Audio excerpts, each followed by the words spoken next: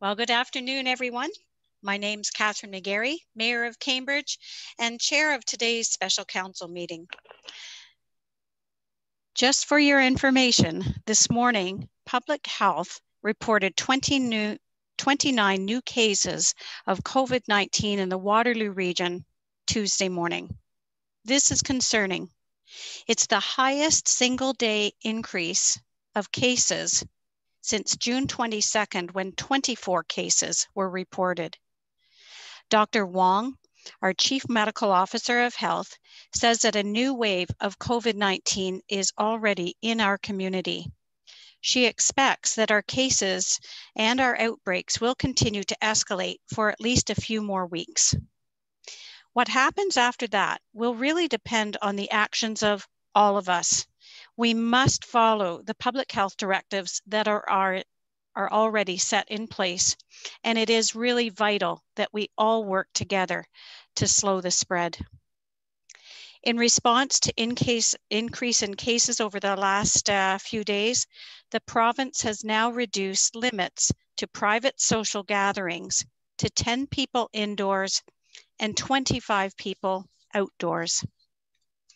We at the city are also constantly monitoring and making the changes as needed to keep everyone safe. Today, we announced that we are putting a pause on registered programs at our recreation facilities. That's how quickly things are changing. We will still be offering our drop in programs. Like the province, our absolute first priority is the safety of our residents, and we will continue to monitor and adjust according to public health recommendations and guidelines to help ensure that as we continue to move forward here, that we're not going backwards. Please note that the COVID assessment and testing centers across the region are experiencing higher than usual demand in their capacity and unless you are symptomatic or have been instructed to get a COVID test, please wait until the uh, to do so to allow the centers to try and catch up. We want to also thank all of our frontline healthcare workers who continue to work so hard to safeguard our community.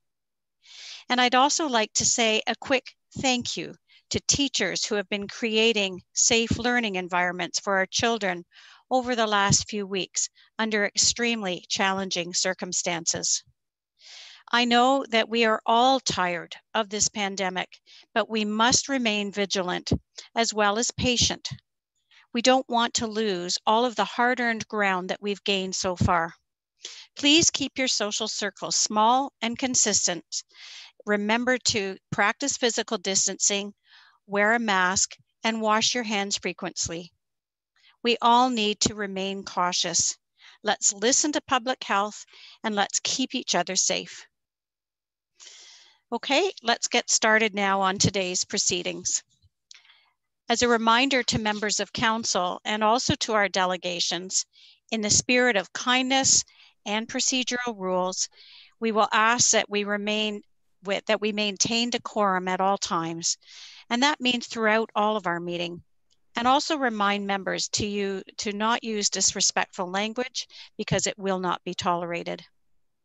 So we're excited to be here with you again, Cambridge, for another special council meeting and another reminder that we're all in this together and we do continue, we do all need to continue to do our part. Today's meeting does not include statutory public meetings under the Ontario Planning Act, so let's now proceed with introductions. So I'll ask our clerk to complete a roll call of council so that we can confirm everyone's attendance today as we're coming to you electronically. Madam Clerk. Thank you. Councillor Adshade. Present. Councillor Devine. Present. Councillor Ermeta. Present. Councillor Mann. Present. Councillor Reid. Present. Councillor Wolf. Present. Mayor McGarry. Present. And Councillor Liggett will join us later. Thank you. Thank you. In addition, we're also going to take a moment to welcome the staff that we have joining us today. So joining us electronically today, we have our city manager, David Calder, our deputy city managers, Hardy Bromberg, Yogesh Shah, and Dave Bush, our chief financial officer, Cheryl Ayers, our city solicitor, Lisa Shields, our director of economic development, James Goodrum, our director of communications, Suzanne Hiller.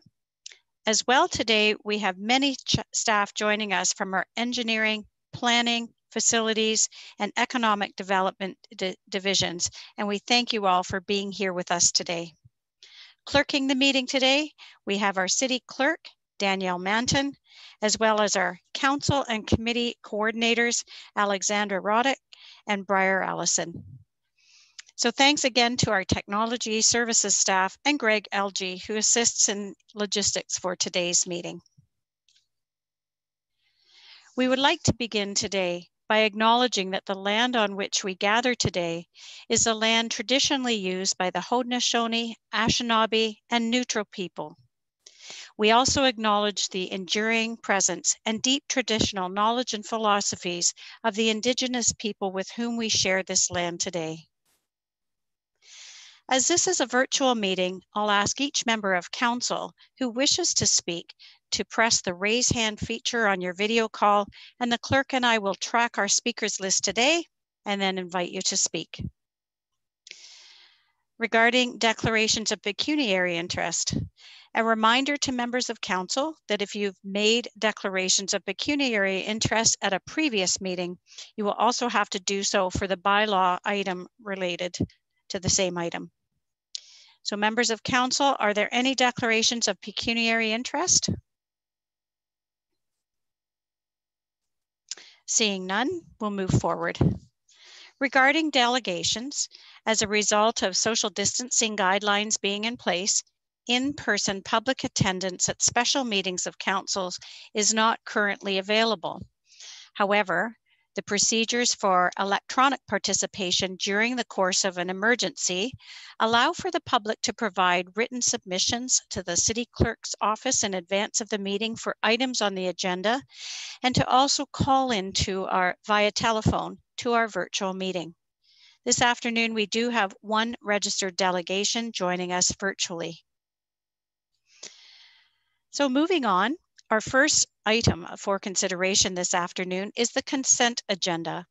If a member of council wishes to comment on any of the consent items, please let us know by using your raise hand feature. And in the interest of time, we'll look to vote on the consent procedure in a block. But if you do wish to comment, you are welcome to do so. Councillor Ermeta, I believe that you have the motion. So please read it in its entirety. Councillor Ermeta. Thank you, Your Worship. Would I be able to get the clerk to read it just because I don't have the seconder down? I was looking for the email, but I haven't found it yet. Thanks. Thank you. And we will, um, it's going to be seconded by Councillor Adshade. So I'll ask our, uh, our clerk to read the, uh, the motion. Madam Clerk.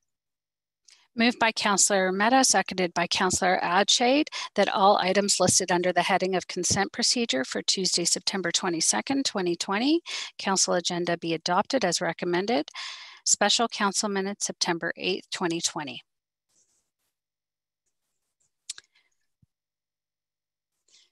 Thank you very much. So at this time, I'll look to see if there's any questions for members of uh, council for staff. Seeing none, does council have any comments at this time? And I see none, so I'll now ask our clerk to call for the vote. Madam Clerk? Councillor Adshade. In favor.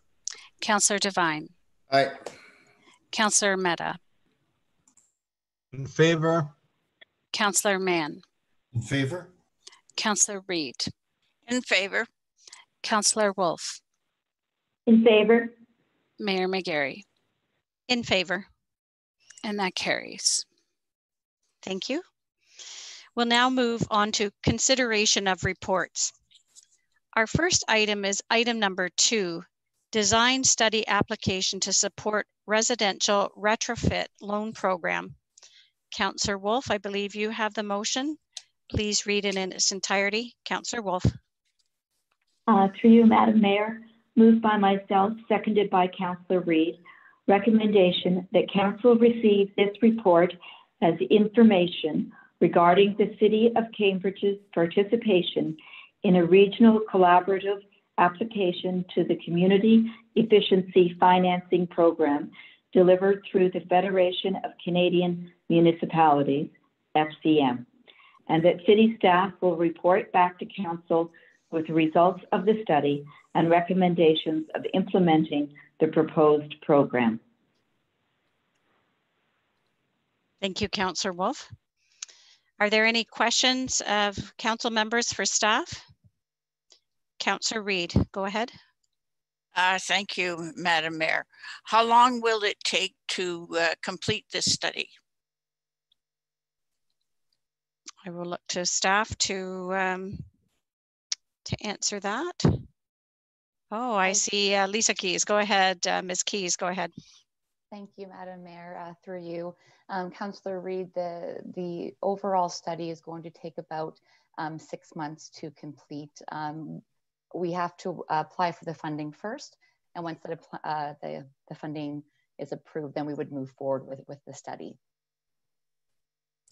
And I have a second question, if I might. Uh, how much uh, might we receive uh, in the second uh, round of funding if we are successful in the first? Thank you through you, um, Madam Chair. Um, Councillor Reid, with, with that, we have the opportunity to receive up to $10 million of funding that would be funneled through loans um, and, and, and given out as the applications would come in from the residents. So um, there is an upset limit and that would be determined by the results of, of the design study. Thank you. Okay, thank you, Councillor Reid. Are there any other questions? Seeing none, does council have any comments? Last call.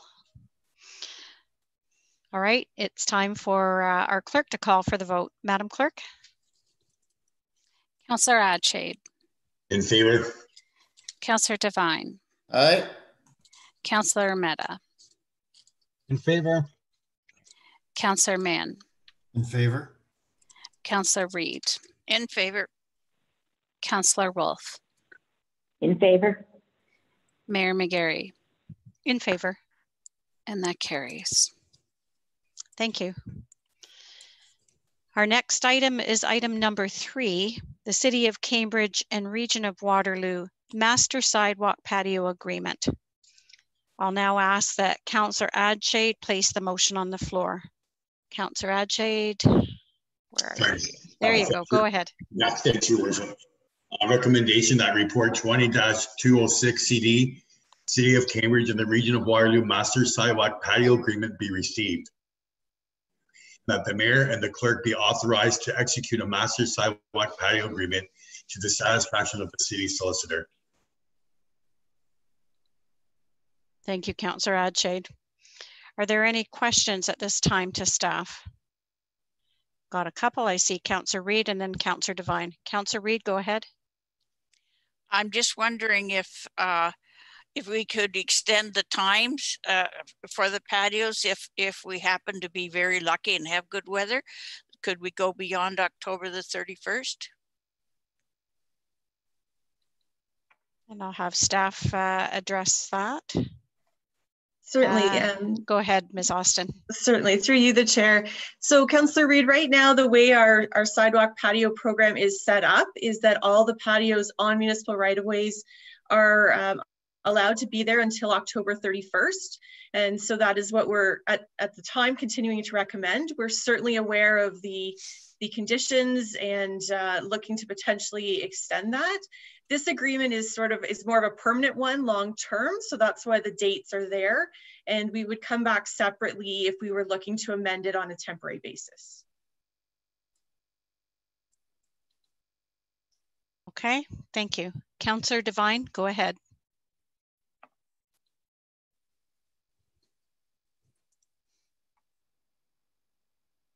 Did you? have a Sorry, sorry. I- Yes, I have a similar question to Councillor Reid. Um, and may- maybe Sarah can straighten me out on this. Is this, this bylaw just specifically dealing with, uh, uh, patios on municipal property?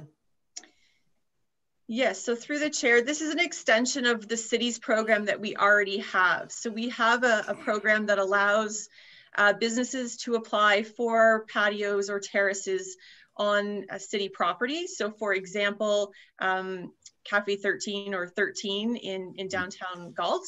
Yeah. And what this, this agreement does is allows us to administer that same type of permit process on region roads. So for example, uh, King Street through Preston, we could now administer that same program on behalf of the region on that road. Um, and this would be a permanent agreement that would allow us to do this full time um, for the foreseeable future. So my question then becomes, uh, uh, again, through the chair, my, my question then becomes, where, where are we with patios that are not on municipal property? Because there are a number that are not on municipal property. Would they be allowed to, to, to, to carry on longer than the dates that have been given here? Certainly through the chair. So it's my understanding that one of the next reports deals with a, a temporary use bylaw that would allow some of the other temporary patios that have been established for COVID responses. My apologies, I have a cat in the background um, who's not happy with me. Um, the, the temporary use bylaw would apply more to the, the patios on private property and the timeframes of those. So this is strictly looking at where we need to allow a patio on municipal property.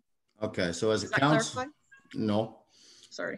as a counselor, um, there's a couple patios that Donna has them in her ward and I have them in my ward. They're on private property. All right. Can I go to that, that, uh, person tomorrow and say you can keep your, your outdoor patio open year round? Can I do that as a counselor? So through the chair, to the best of my knowledge, um, if it's, and perhaps this may be a, a planning question or a zoning, um, if it meets those requirements through a planning application, there is no time frame where the patio needs to, to be removed or anything like that on private property. The reasons for the, the restrictions on city right-of-way, uh, the sidewalk ones, deal more with uh, winter maintenance. Very, very understandable. Yes, I think we all get that. Is there any way that maybe staff could clarify that tomorrow in writing? Because we're gonna, we're gonna get quizzed on that. Councillor Devine, um, Yes.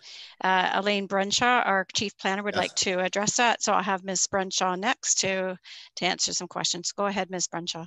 Thank you. Sorry, Elaine, I can't hear you. Can you try again?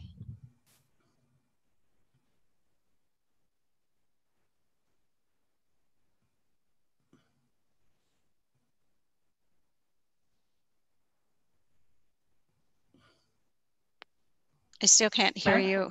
There he goes. Go ahead. Thank you. So in response to the councillor's question, item five on the agenda tonight is an, a temporary use bylaw recommending extension of permissions through zoning on private property for up to three years to allow restaurant patios. And this is done in response to um, regulation that the province released in July of this year and allows those temporary use bylaws to be brought forward to council for endorsement if desired without having to hold a public meeting and the bylaw is not subject to appeal. And also as noted in the report, when the time comes to get to that item on the agenda, if council wishes to repeal the bylaw prior to the end of the three-year period, that's also an option. So this is to provide flexibility for restaurant patios to occur throughout the city um, in, in zones that do allow restaurant patios. So if council were to be supportive of item five, then starting tomorrow, and as Sarah Austin had mentioned, if the patios comply with the zoning as set out in the temporary use bylaw, then they can continue or new ones can start. Thank you. Thank you. Okay, is that any further questions? No, I see your mic off. Are there any other questions um, for staff by members of council? Seeing none, does uh, council have any comments at this time? Seeing none, then we're ready to call for the vote. Madam Clerk?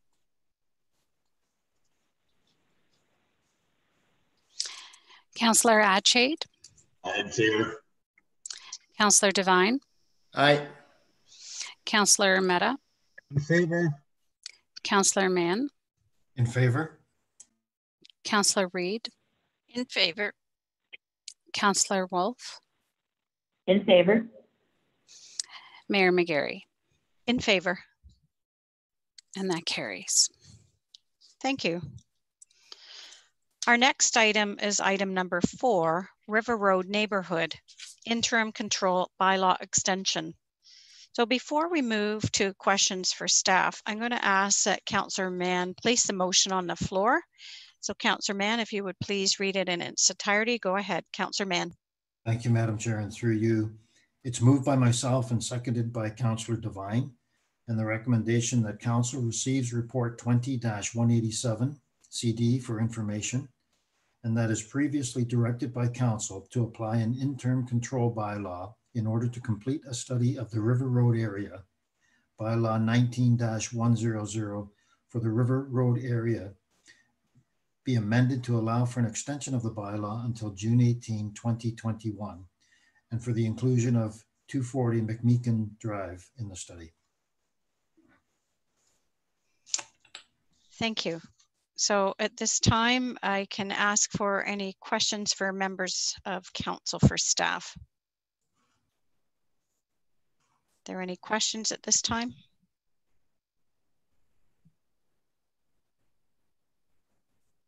Seeing none, are there any comments for uh, from members of council? Councillor Devine, go ahead. Councillor Devine. Yes, thank you. And through the chair, uh, I wholeheartedly support the motion. I mean, that's good data. It's talked with staff uh, yesterday at length about this, and uh, there's ample time to get it done properly, which is very important because a River Road area is very important to the city of Cambridge. So I support it wholeheartedly. Thank you. Are there any other questions or uh, comments from members of council? And seeing none, I did want to add in my own and really echo Councillor Devine's comments. I think this is a, a good solution for the community for this important uh, area in our city. So thanks to staff and thanks to uh, members of council for supporting this direction. So seeing nothing further, last call. Seeing, oh, uh, I'm going to go to our clerk, Madam Clerk. Thank you, Madam Chair. Um, Councillor Mann, there's just one more line on that motion. If I could have you read that bottom part of the motion out and thank you. Got caught. Yeah, we have Sorry. some sharp people in this room here. Yeah, sorry, I missed that. And the last line on the motion states, and further that bylaw twenty dash triple X be passed.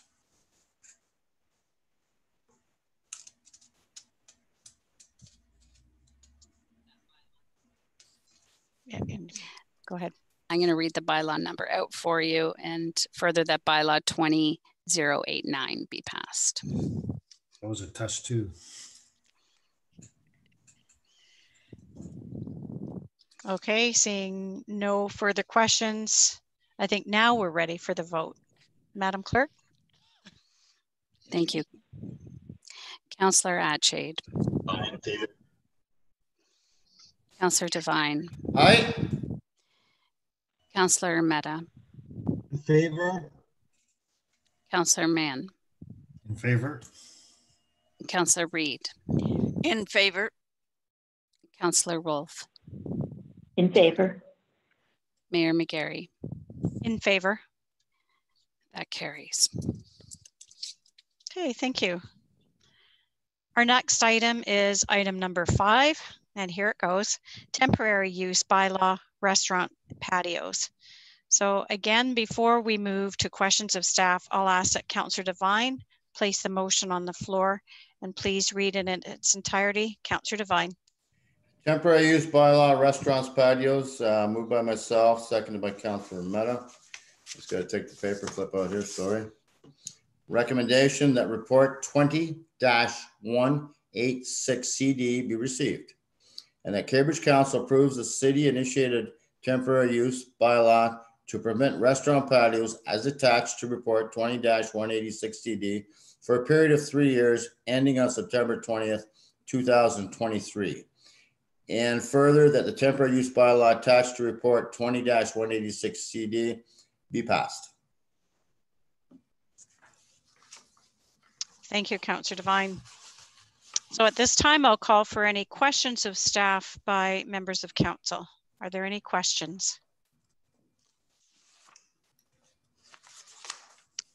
Seeing none, are there any comments for members of, or any comments from council at the moment? All right, hang on. Yeah, no, you were off mute. Did you want to speak, Councillor Devine? Yeah, sorry, I was just trying to find my raise, raise hand feature and I didn't realize I was off mute. I apologize for that. That's quite all Um, right. I would have noted it uh, seconds from now, but I thought you would want to speak to this. Go ahead. uh, know, this, I, I believe this is important um, for the community, especially what's gone on in the last six months. And it, it's done a good job of allowing people to get out and also do some proper social distancing. I mean, we've seen the numbers in COVID the last few days, and we have no reason to believe they're going to go down in a hurry. Uh, and, and, and in three months from now or six weeks from now, we might be back to stage one. Who knows? But I think this is this is a good resolve to help the business people out. Thank you. Thank you. Do any other members of council have uh, comments? Seeing none, I did want to uh, add my own in and just uh, again echo Councillor Devine. We're on the same page today, but also um, compliment staff and council for thinking um, thinking ahead. We know as of today that we're in a new wave of the COVID 19 pandemic. And I know that our city, our staff have gone out of their way to try and accommodate those uh, restaurant owners that really wanted to expand their patios to manage during the pandemic. And I would say that Cambridge has uh, been ahead of other jurisdictions in getting this to, uh, to our business owners as quickly as possible. And I do also believe that uh, giving some security in in length of these um, recommendations or what we're hopefully going to pass shortly gives the business owner some stability in these times of uncertainty. So I also agree that this is important. If we don't need it in future, it could be rescinded, but at the moment, I'm very happy to see this go ahead. So seeing no further comments, then we're ready for the vote. Madam Clerk. Councillor Adshade. Can you just repeat that for me, please? In favor? Thank you. Councillor Devine. Aye. Councillor Ermeta. In favor. Councillor Mann. In favor? Councillor Reid. In favor? Councillor Wolf. In favor? Mayor McGarry. In favor. And that carries. Thank you. Our next item Mayor, is. Mayor item- McGarry. Mayor McGarry, it's David. Oh, Go ahead, Sorry, David. sorry to interject. I just wanted to have the vote finished because uh, um, my information, I don't think impacts uh, what you just voted on. But uh, Councillor Devine asked about existing uh, businesses that have patios on private property. I just wanted to remind that the AGCO does do the liquor licensing for those patios. Um, they had extended their uh, process to January 1st, I think it is, of 2021. Um, so to have patios operate that uh, hadn't gone through the full process with the AGCO beyond that date, the AGCO will be required to change some of their uh, rules around uh, licensing. So I just wanted to caution, don't give a carte blanche saying that they're permanent. Uh, there are some other uh, licensing factors that would still come into play, but that's beyond the scope of our council or and staff. Thanks.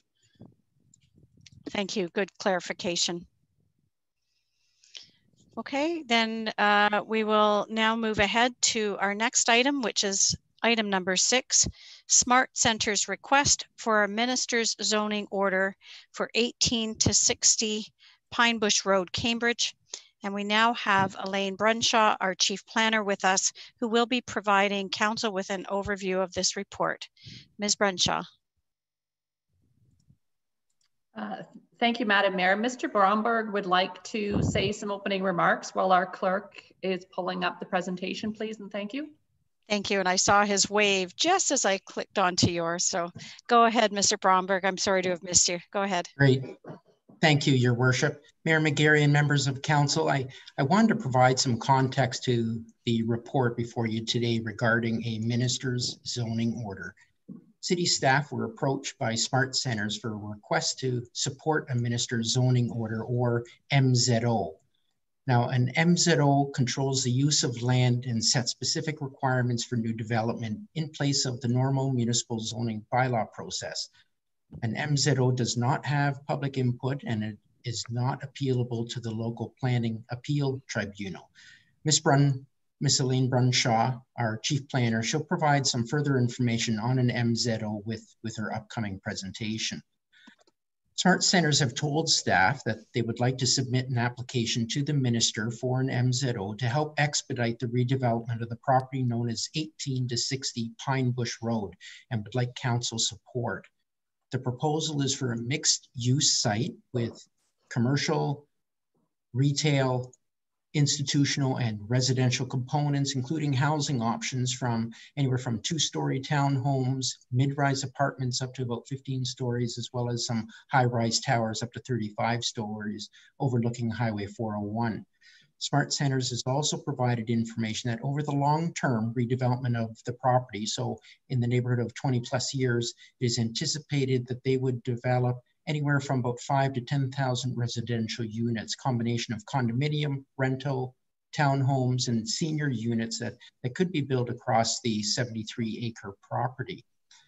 Now, with an MZO in place, SmartCentres could start redeveloping the site and obtain building permits by next year. Without an MZO, it could be two to three years away. And again, that's dependent on the outcome of additional studies and, and public feedback. Now, the proposed concept for the site does align with the city's official plan. It, it does support the city's initiatives around greater density, both in terms of people and jobs along the LRT corridor, as well as being supportive of council's desire for, for GO expansion within the area. So I hope this provides a bit of context to the report before you today.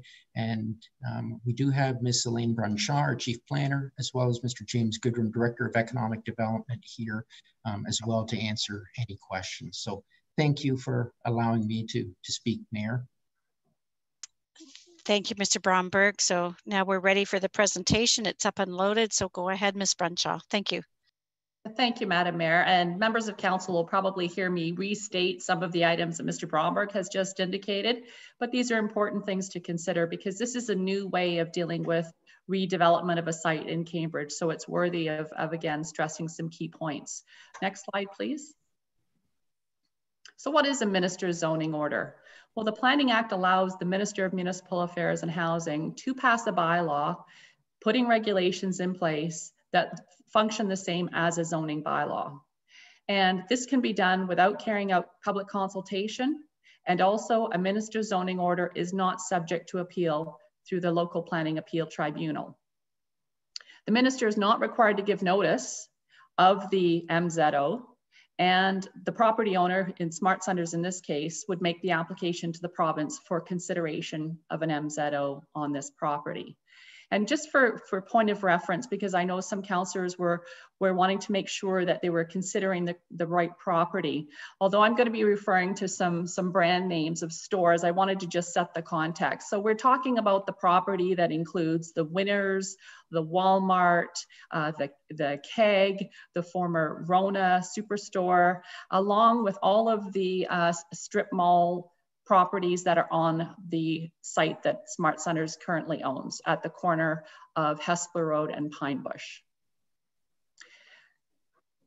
SmartCentres has contacted the city because they want to work collaboratively with us on the MZO, provided that the work does not take an extended period of time. You heard Mr. Bromberg talk about the timeline that it would normally take an application uh, for redevelopment of this kind of site, potentially two to three years.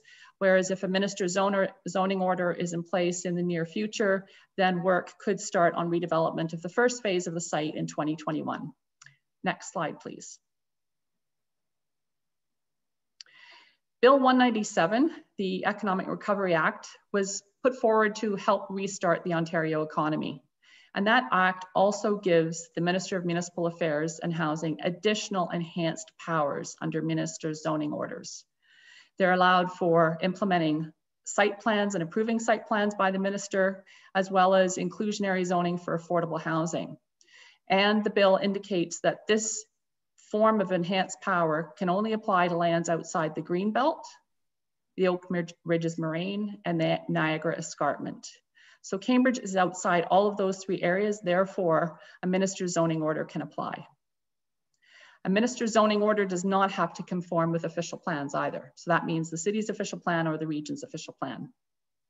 Next slide, please. So as I mentioned, SmartCentres wants to work with the city to prepare regulations. They also, um, and the city considered this site as a strategic location. It's proximate to Highway 401. It's also part of the future planning that we're doing for LRT, Light Rail Transit Stage 2. And there's a, a, station that's being referred to as the Pine Bush Station that's being planned on the west side of Hespeler Road, just north of the Williams Fresh Cafe, where the spur rail line crosses Hespeler Road. That would be the site of the future planned Pine Bush Station and also a connection for GO Rail. And so the Smart Center site falls within 800 meters of that future planned Pine Bush Station. So this area is considered to be a major transit station area and it is considered for higher density mixed use development in the city's official plan. In the report, you see the draft regulations that SmartCentres has provided to the city and city staff have quickly reviewed that information. And I'm going to go through that information with you in detail today.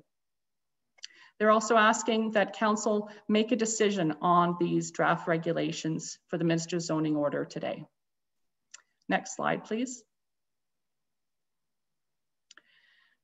Details about the number of units within each building, the height of specific buildings, and the amount of retail still need to be determined.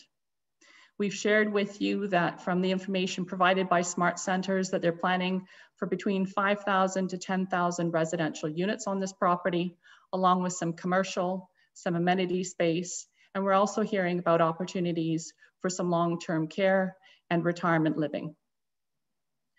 The heights of the buildings are proposed to vary, but the maximum height is to be about 35 stories. And those are for the buildings closest to Highway 401. And then some lower rise, two story townhomes and mid rise apartments up to 15 stories in height. Next slide, please. So the report to council recommends that if council is supportive of working with SmartCentres on this initiative, the draft regulations may have some minor refinements and then be sent to the province with a request for a minister's zoning order. The tight timeline for completion for this work is being requested to benefit from the current provincial government's interest in restarting Ontario's economy. The proposal is set out in the zoning regulations in the MZO, and if approved and endorsed by the province, then there would be supporting studies that would be provided with each phase of the redevelopment. And Mr. Bromberg talked about potentially a 20 year plan for redevelopment, and that would be set out through a number of phases. We don't know how many phases at this time, we just know there would be multiple phases. And the supporting uh, applications that would come in could be plans of subdivision, plan of condominium, site plan. Now, plans of subdivision have a public consultation component to them. Uh, condominiums, some types of condominiums have a public consultation component, but not all. And site plans generally don't normally have a public consultation component with them. Also, there would be a need for some supporting studies to get into the details around the phasing of development. For example, looking at traffic, servicing, and things like that. Next slide, please. So the draft regulations, uh, some of them are, are, fairly technical in detail. So I've included the wording as presented by SmartCentres on the left-hand side of the next few slides that you're going to see. And then I've included a little summary box on the right-hand side to help you see the highlights of what is being proposed. So the first part of the regulation set out some definitions, floor space index, and what's a zoning bylaw, And it also indicates that the zoning order applies to the entire SmartCentres site. Next slide, please. Then we get into the zoning information. So all of the property is treated one as one lot for the purpose of setbacks. So that means even if in future there's a plan of subdivision or subdivisions, severances, for the purposes of the minister's zoning order, the property is dealt with as one overall property. All of the commercial uses that are currently in place under the C6 zone for this property would continue to be permitted. In addition, there would be a new zone applied, RM3, which is residential multiple three, that would also allow townhouses and apartments in addition to commercial. Next slide, please. There is also a proposal to include institutional zoning on this property in conjunction with the residential and commercial. And this is to potentially permit long-term care facilities and retirement living that I spoke about. Then there's a general uh, permission about section 211. What that means is uh, there's a, a part of the bylaw right now in the city that says certain uses are permitted on all land within the city, regardless of the zone. So that would continue to apply to the Smart Center site as well. Also, there's a proposal for self-storage to be allowed. That could be permitted on a temporary or permanent basis, depending upon Smart Center's needs. And then the last clause on this slide refers to the site-specific zoning that's already in place for SmartCentres. And that would still continue to apply uh, for the amount of commercial space permitted on the entire property, except for height and density. And I also wanted to note that the current lot coverage under the bylaw is 30%. And as you'll see on the next slide, the proposal is to increase that to 40% lot coverage for the entire site. Next slide, please. Lots of, of technical information here. Basically, what this is saying is the resident, residential multiple and institutional zone would still have all the regulations applying for them, uh, such as things like setback and landscaping, but things like maximum lot coverage, density, and height would not apply. There are different regulations coming up that would cover that.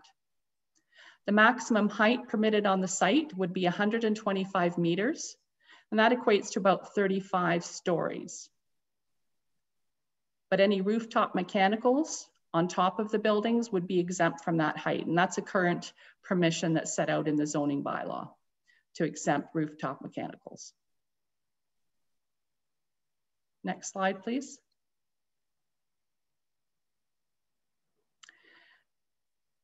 The next clause indicates that the minimum size of a commercial unit would not be limited if the commercial space is within a mixed use building.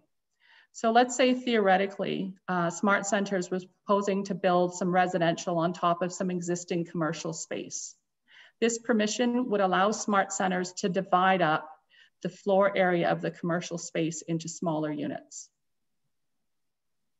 There'd be no cap on the maximum number of units per hectare. But as we've heard through Mr. Bromberg's intro on my earlier comments, uh, SmartCentres has indicated that they potentially are looking for between 5,000 and 10,000 residential units. The density would be 4.2 times the size of the site. So I know that floor space index can be a challenging concept. So generally, if someone had a site and they were 100% of the coverage for one story building, that would be a floor space index of one. So SmartCentres is proposing a floor space index of 4.2. But because they obviously don't want 100% coverage of their entire site because they want to provide opportunities for parking and amenity space, sidewalks, they would have a lot coverage of 40%. So what that means is then that they would be allowed to have the taller buildings on their property to meet their density. The current zoning bylaw requirements for loading spaces, parking spaces, and accessible parking space would be applied, comply relative to the existing zoning bylaw. But one ex, uh, exemption to that may be that if they're coming forward with a transit supportive design because of proximity to um, transit and walkable sites, then their parking requirements may be reduced in future. Next slide, please. Then we get into some more uh, technical information. This means that future development of the site must comply with the minister's zoning order. An exception to that is that existing legally established uses can continue even if they're prohibited in future by the minister's zoning order. Also, reconstruction of any building or structure is permitted if the, the building is damaged or destroyed beyond the control of the owner, if the use continues and it's rebuilt to the same size and scale. So that's a fairly technical item. Next slide, please. Uh, SmartCentres would be able to strengthen or restore buildings to safe condition um, would be permitted under the zoning. Also, this indicates that the MZO functions as a bylaw passed by City Council. And the last part is that the regulation or the minister's zoning order takes effect on the date it is filed by the Minister of Municipal Affairs and Housing, and there's no appeal opportunity. Next slide, please. So I just wanted to uh, comment that what might happen if council supports the minister's zoning order. SmartCentres would make a request to the Minister of Municipal Affairs and Housing, and ministry staff would review the information included in the regulation. They could accept the regulation as presented. They could alter the regulation. They could add additional zoning requirements.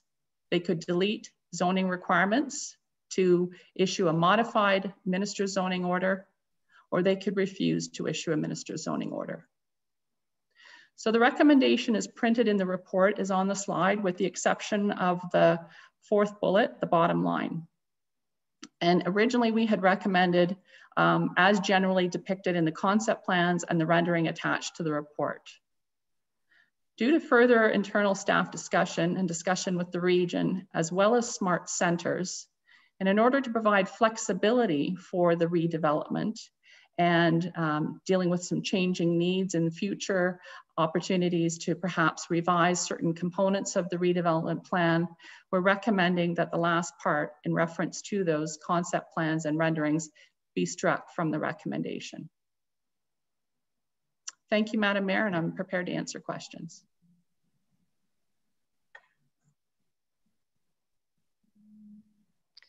Okay, the first click didn't work, second did.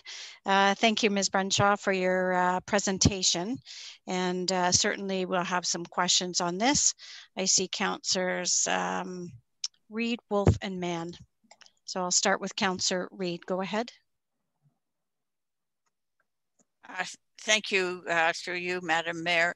Uh, I know that I was kind of confused when I looked at this uh, initially. So I asked many questions, and I'm sure that um, other people may have questions, and maybe our audience people have questions.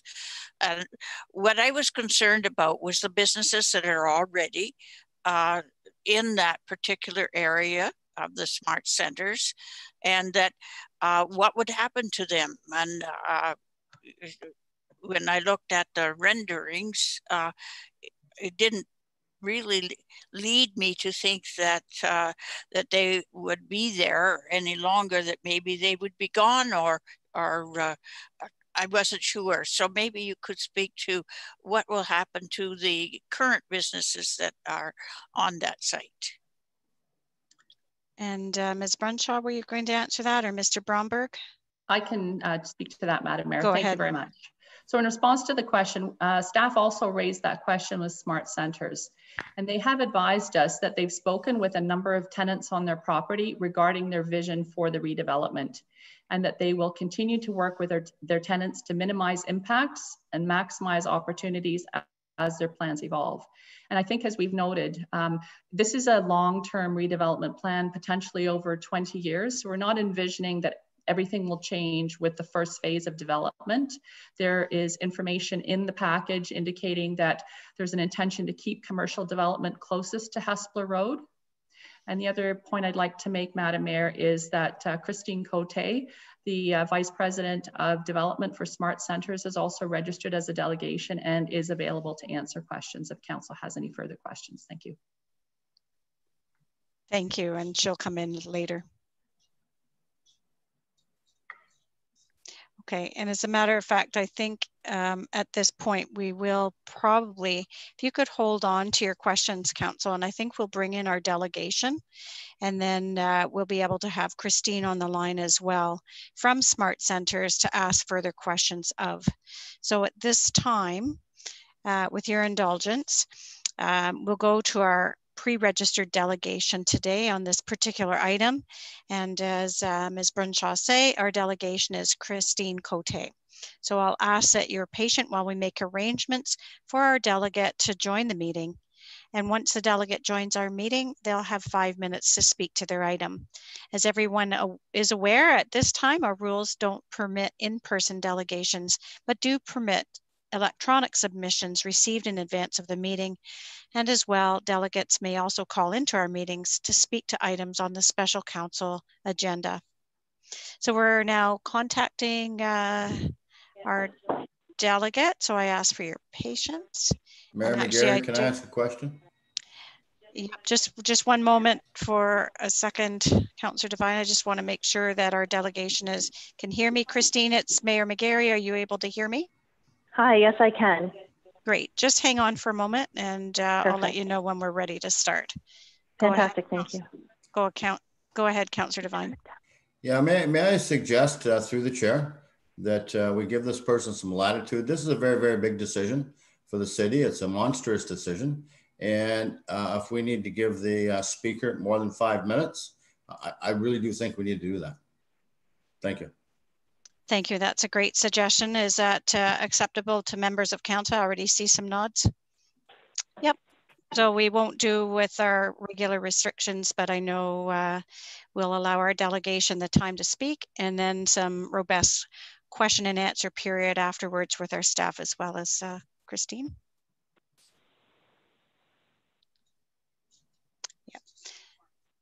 So in order to uh, formalize that, we will do a motion to waive the rules. Councillor Devine, can I ask you to move that motion? I'd be more than happy to. Okay, and a seconder?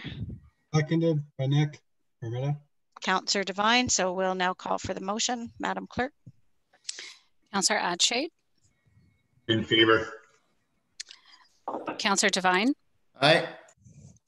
Councillor Ermeta. In favor. Councillor Mann. In favor.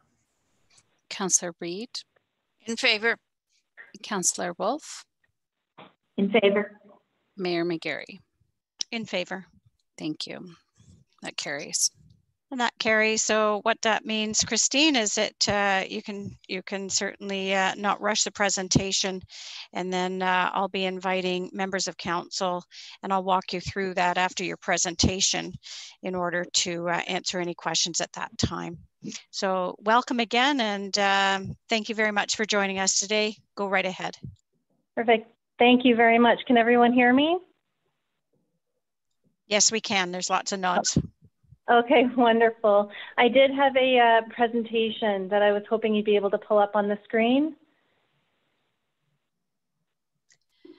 Yep, the uh, clerk is just pulling that up. So just let her know when you're ready for a slide change.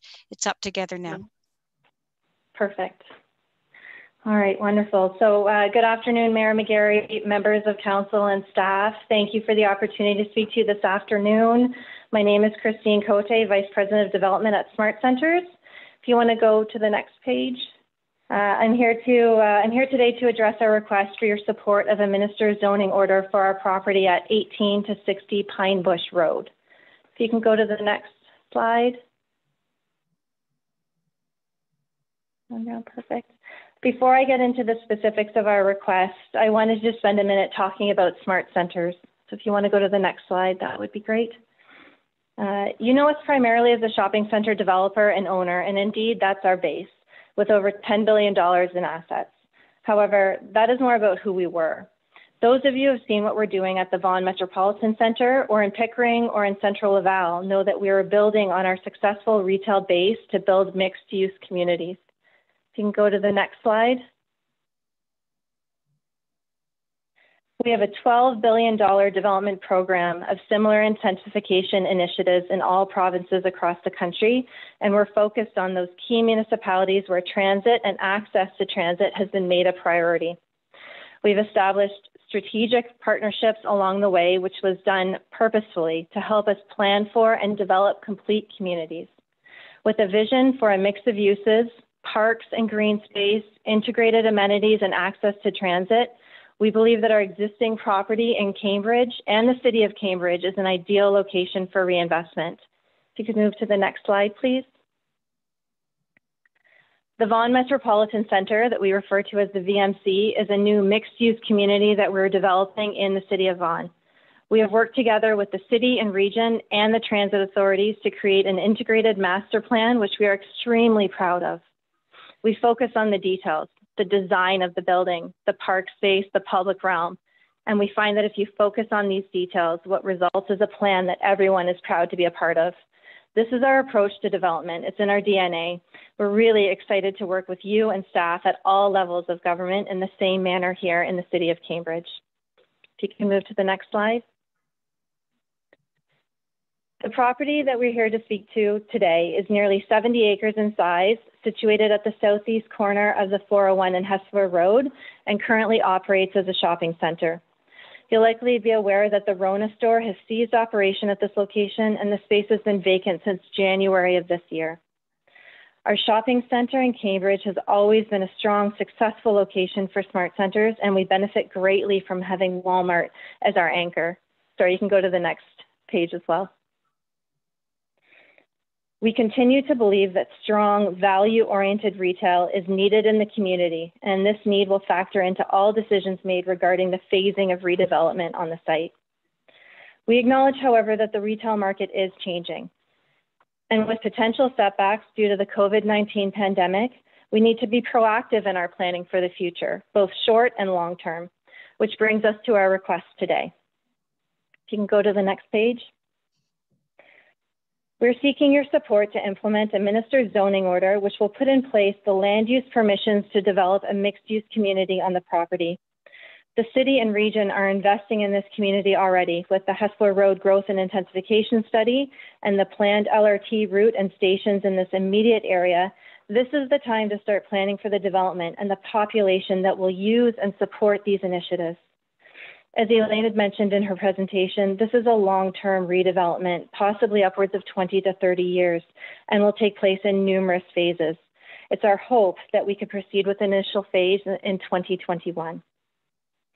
We currently have a vacancy rate of approximately 27% across the property, and that includes the Rona building. It's our intention to use the opportunity that the vacancies have created to start planning our initial phases in the areas with the highest amount of vacancy first. We have strong relationships with our retailers across the country, and we believe that new forms of development will enhance the retail on site by bringing residents within a walking distance to shop and spend money at these stores. The residential development supports the retail uses on the site. With 27% of the retail space vacant today, leaving the site in its current state as we progress through a possibly lengthy planning approval process could simply lead to more vacancy on the site. We need to show our retailers that we are proactively working to improve conditions.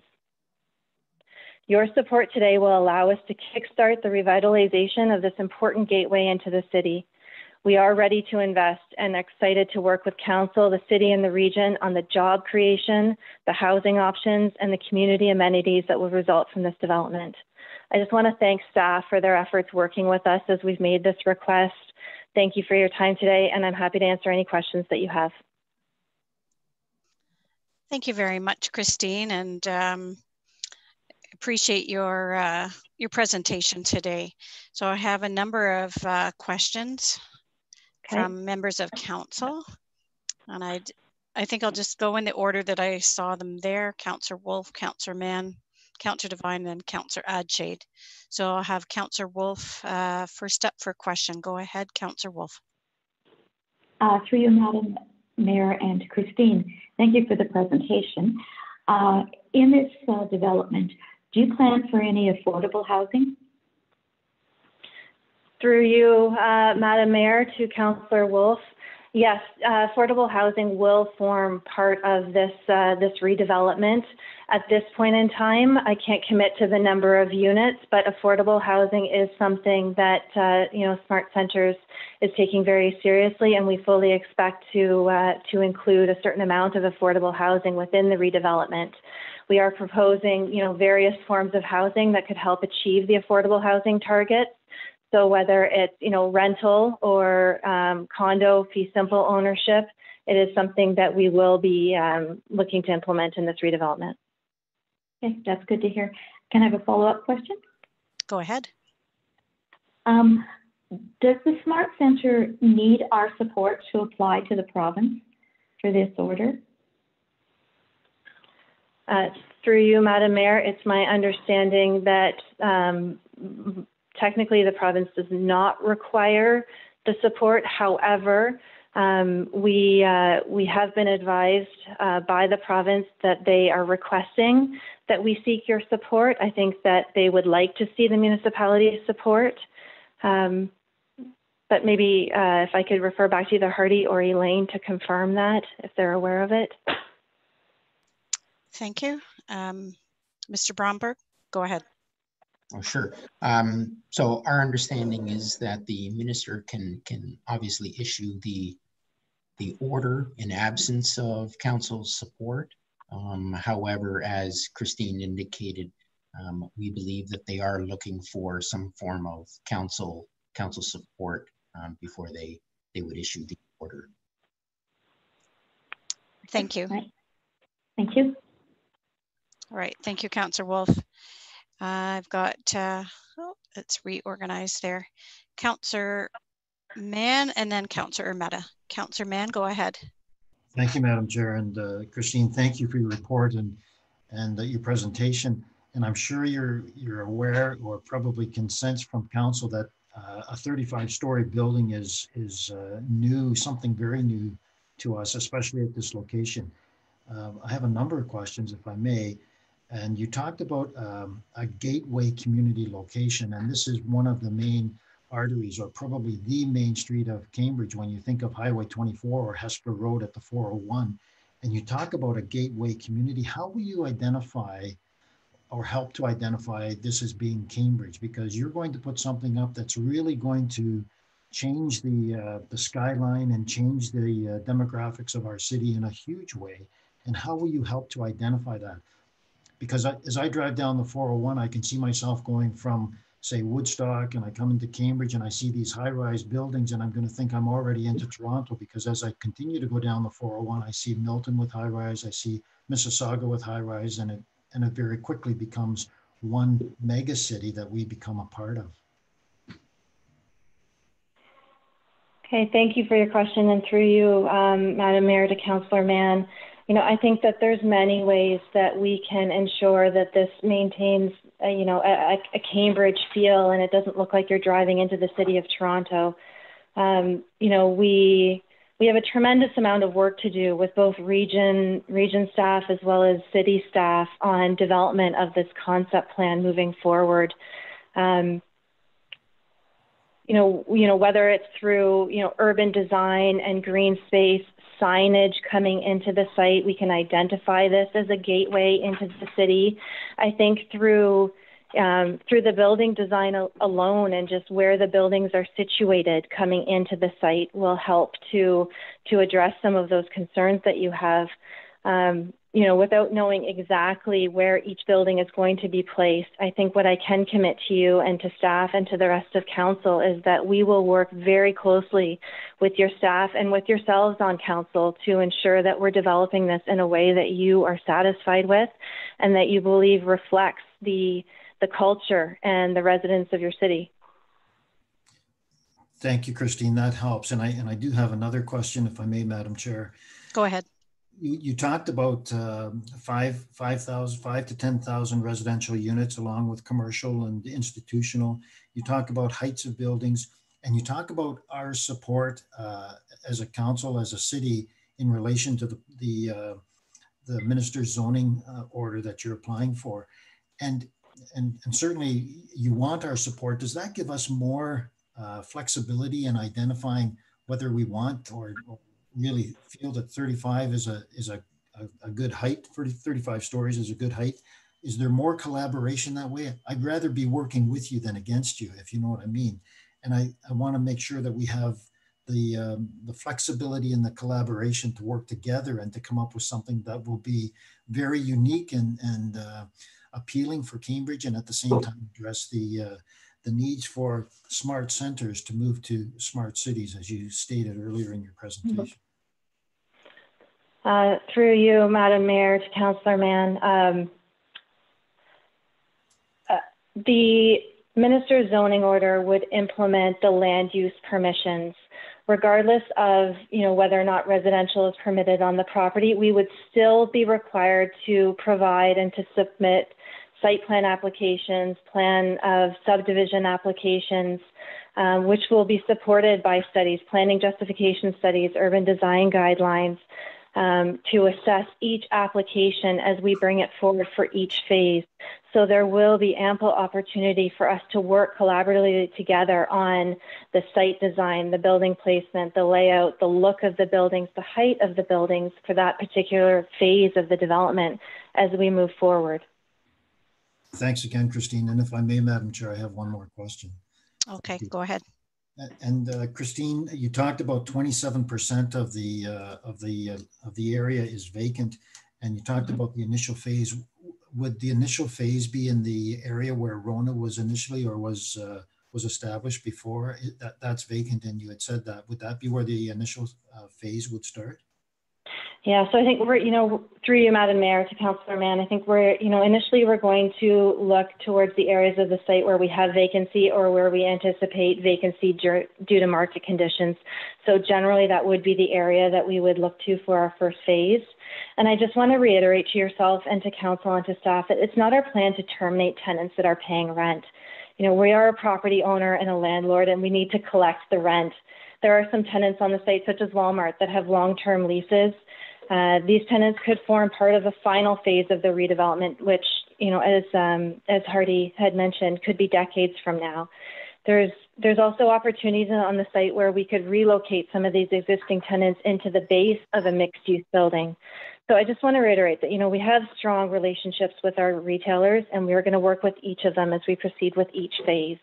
But we will focus on the areas where we have vacancy and where we are anticipating to have vacancy for our initial phases. That, that's great. Thank you, Christine, and, and thank you, Madam Chair. Okay. I will go next to Councillor Ermeta, followed by Councillor Devine. Councillor Ermeta, go ahead. Thank you, Your Worship. Through you, uh, Christine, thank you for the presentation. I certainly appreciate hearing your vision and for your investment in our community. Uh, my one question, actually, I have two. One is, where do we, where will the first phase be? Do we know that at this point? If you don't, that's fine. I just, that's one of my questions.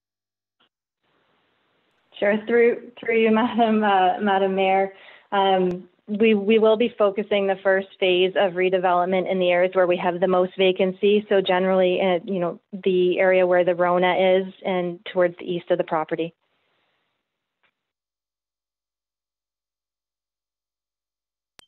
Sorry. No, you just unmuted again. Tricky button sometimes. Go ahead, Councillor Ermeta. Thank you, Your Worship. And my other question has to do about the green space. I was very pleased to see a lot of green space proposed. I did read something about how some of it is going to be privately owned. Is there a way the city could um, own that green space? Um, that's when the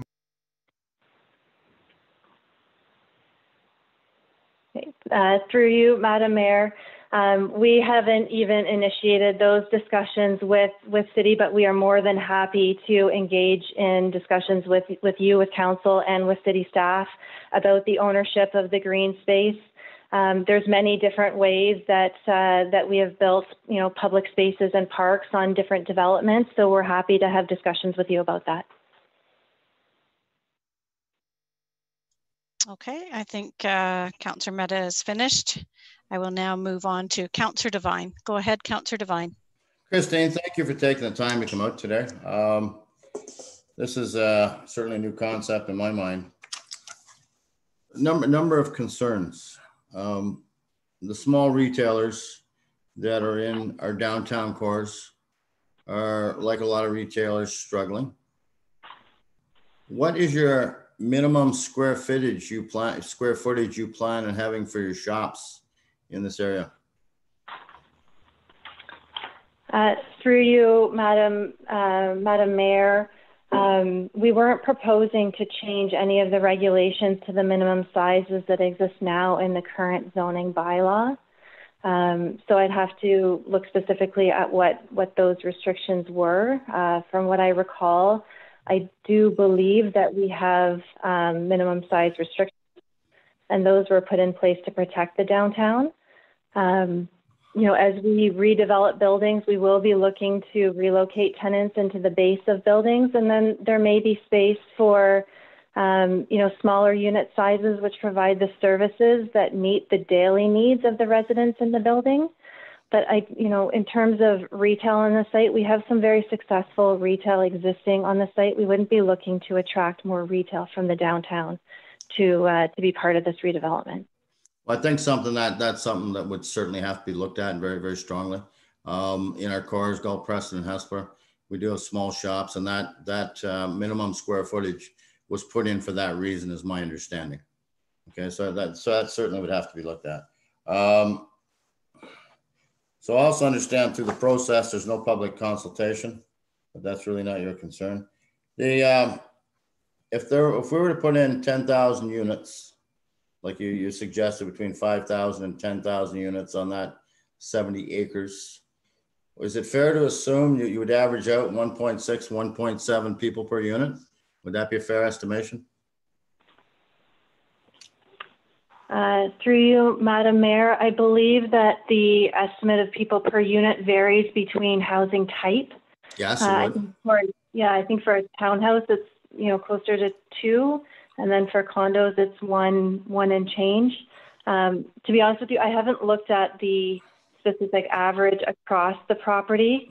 Um, you know, at at 10,000 units, I think we were looking at on average up to 20,000 new residents, but that is if we hit 10,000 new units. Um, you know, we're looking at the range of five to 10,000. Okay. So the other concern that I would have is your anchor store, Walmart. Um, uh, it sounds to me like over a 20 year period that you would ex be expecting them to relocate. Is that my understanding, or would the plan be to keep them there?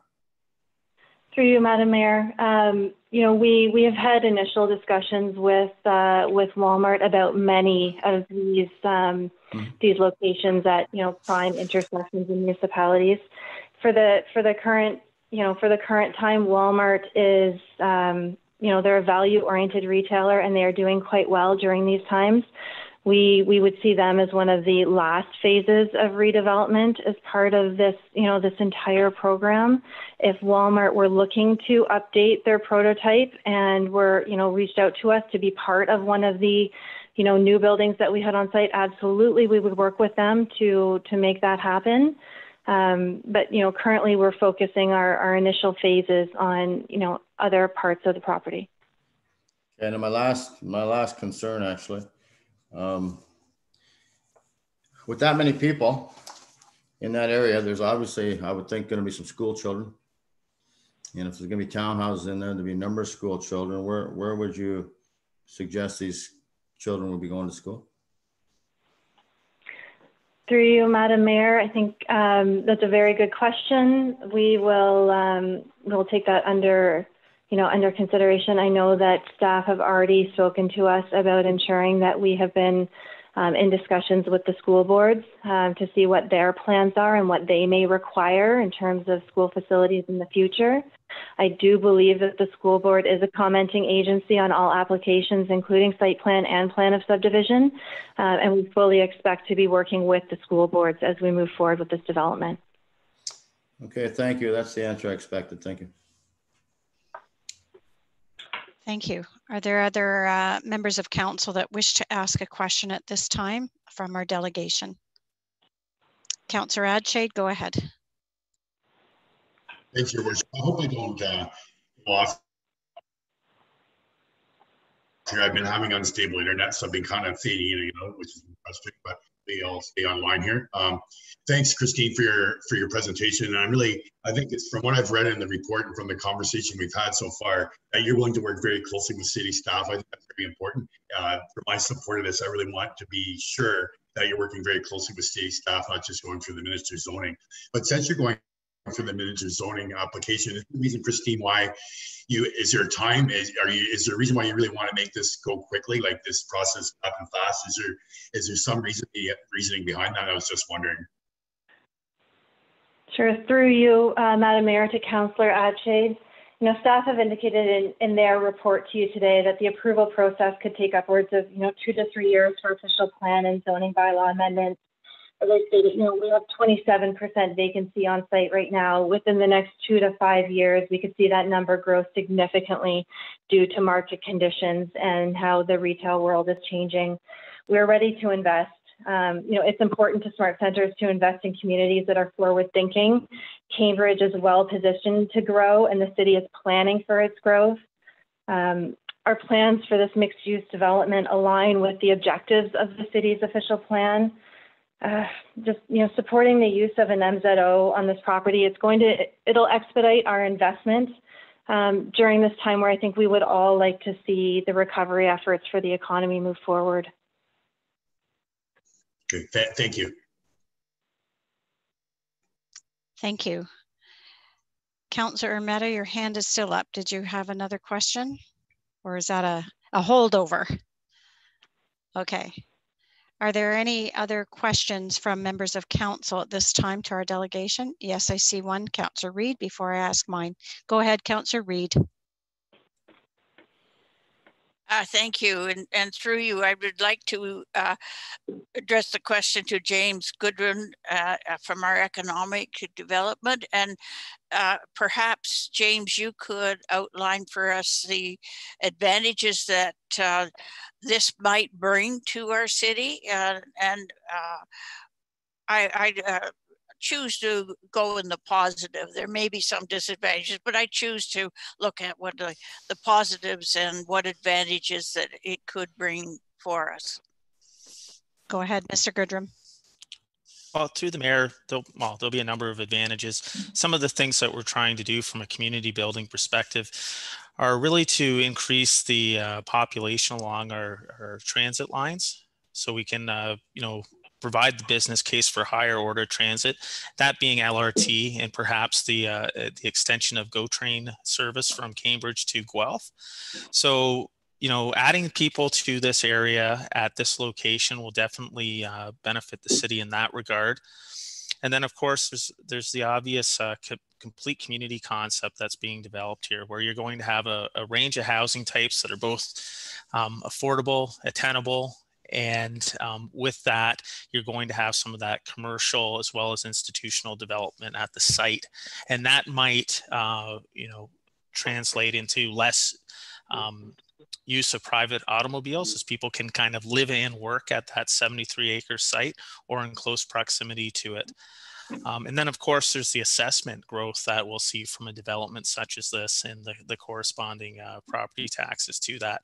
We're making more you know, effective and efficient use of the services that we already have in the ground uh, located around that property. We're not adding to the urban boundary or anything. So it, it uh, you know, these types of infill projects, this is a very large scale in, infill project, uh, definitely makes sense economically and provide good uh, growth options. And at the same time, as Councillor Devine uh, recognized that previously when this uh, development was approved, I believe it went through an OMB decision. And part of that decision making process was looking at what are the market impacts of uh, these types of developments on our downtown cores. And that's where you saw those regulations that have been uh, uh, put in place in our zoning bylaw that uh, provide for minimum floor areas so you don't get that uh, that hollowing out of our cores uh, with businesses leaving the core areas to uh, developments such as this. So those are all things I, and I can tell Christine and SmartCentres wants to continue the dialogue with staff and council going forward, recognizing this is a 20 year a 20 year project. Thank you. Councillor Reid, any further questions? No? Seeing none, I see a couple of other hands up. Councillor Ermeta? Are you, go ahead, Councillor Ermeta. Thank you, Your Worship. Um, one other question. Christine, would you be open to looking at a convention center for the property or Uh, through you, Madam Mayor, absolutely. We would be open to looking at any types of uses that were permitted on the property, um, you know, provided that it makes sense and we, you know, can design it into the development. We would be happy to discuss that with you. Okay, no further questions from Councillor Ermeta. Uh, Councillor Wolf and then Councillor Devine. Councillor Wolf. Uh, through you, Madam Mayor. Uh, this maybe goes to James. Um, I'm a bit concerned with no public consultation, um, no appeal, and does not have to comply with our official plan. Um, if we don't like the development or parts of the development, do we have any recourse?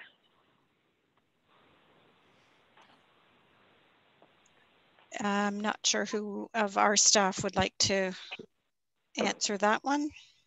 Uh, Ms. Brunshaw is a more appropriate person. Go ahead, Ms. Brunshaw. Thank you. So, uh, Madam Mayor, in my presentation, I indicated that various phases of the development will be implemented through different types of planning applications.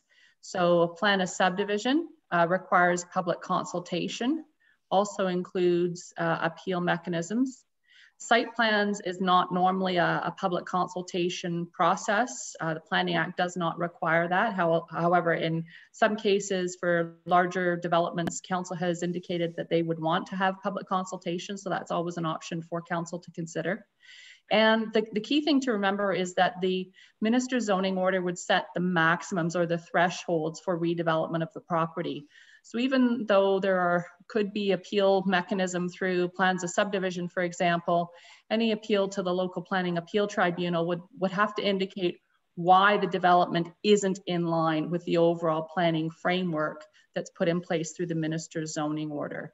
And as we heard from uh, Christine Cote, there would be consultation with city staff and external agencies, including the region, to make sure that all of the issues are evaluated. And supporting studies would also provide additional information to help evaluate each of the phases of development. So right now, yes, there is no uh, public consultation for the minister's zoning order, but there will be aspects of future phases of work and studies that are required for that information to then be uh, reviewed with the public, hearing mm-hmm. comments and working with SmartCentres on refining the phasing of the development. Thank you. Thank you. Councillor Devine, go ahead, Councillor Devine.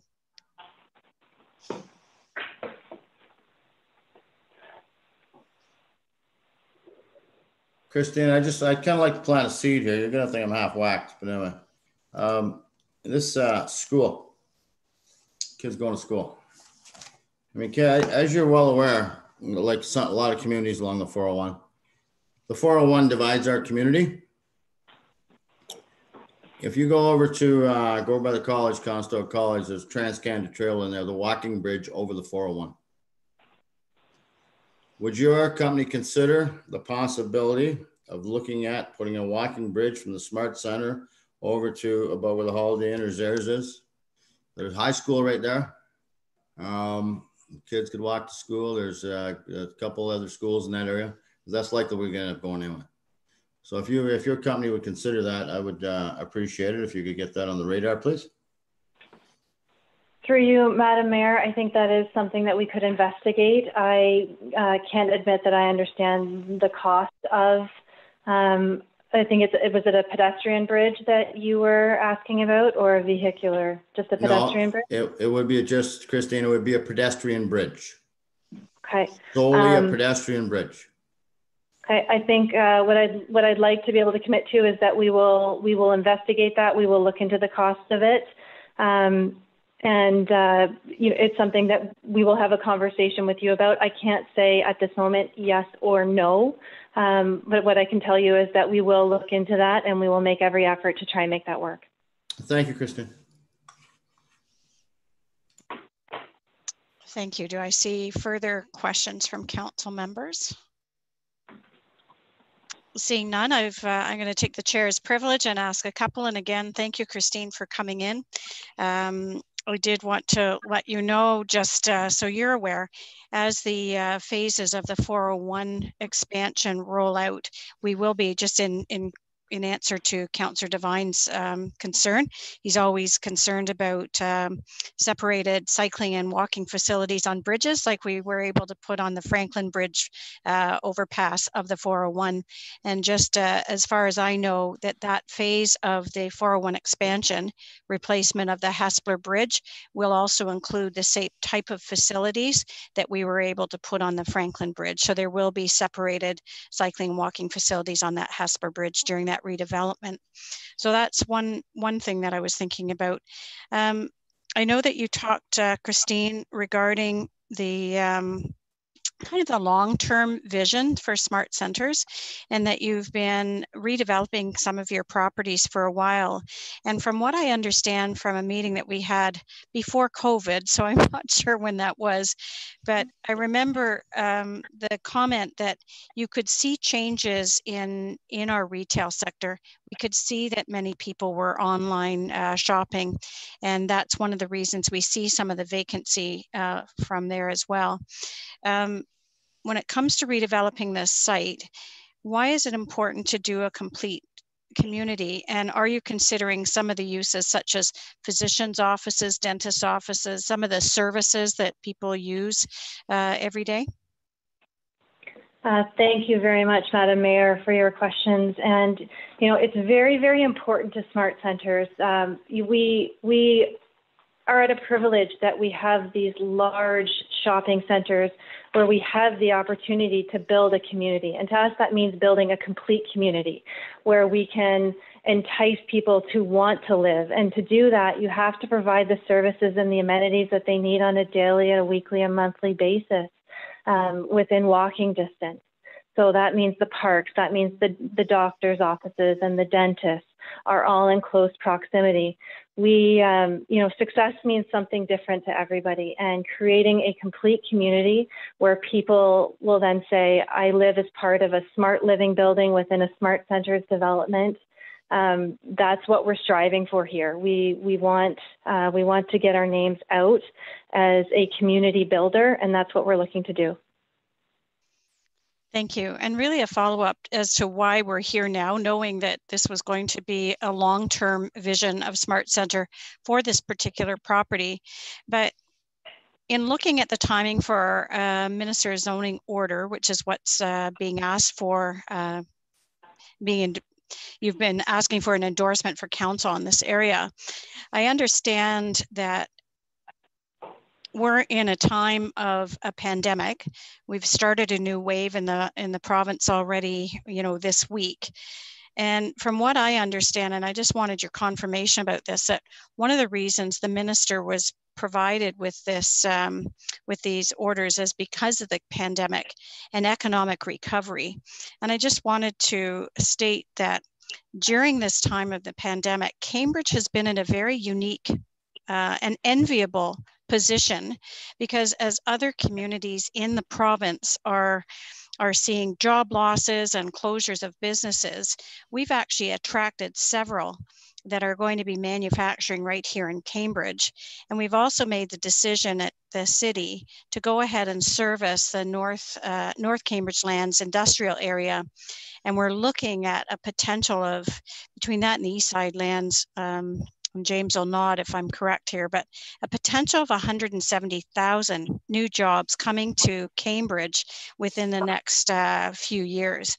And I know it's super important for these companies when they're looking to settle here, that there's an adequate um, number of housing options for potential employees. And indeed, when I discussed this with Pri-Med, who's one of the two companies that's coming to open up here uh, in the next very little while, one of the reasons they chose Cambridge over a number that they were looking at in Ontario was because of the amenities here that there was some housing stock coming on online. It's close to 401. We're a manufacturing center. So they ultimately chose Cambridge.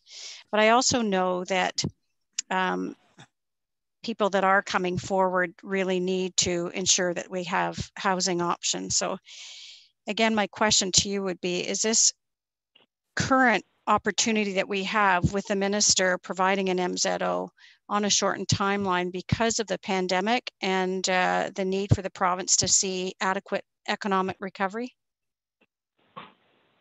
Uh, to answer your question, Madam Mayor, yes, that's our understanding that, you know, the, the minister's office is, um, you know, is, is working collaboratively with municipalities and with applicants to implement MZOs to, um, to assist with economic recovery and that this could be you know, a short-term window for us to, to use this tool. Okay, thank you. Okay, last call, members of council for questions of our delegation.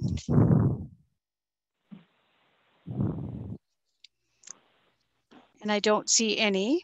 So Christine, I really wanted to thank you for participating today in our virtual meeting and also for delegating and for uh, answering the questions. And uh, I just wanted to let you know that uh, as we remove you from our meeting, you're welcome to watch the remainder of the meeting on the City of Cambridge YouTube channel if you'd like. And we really thank you again for, uh, for coming to us today. Thank you very much, Madam Mayor, members of council, and thank you to staff for working so closely with us over the last few weeks specifically on this. Thank you very much. Thanks again.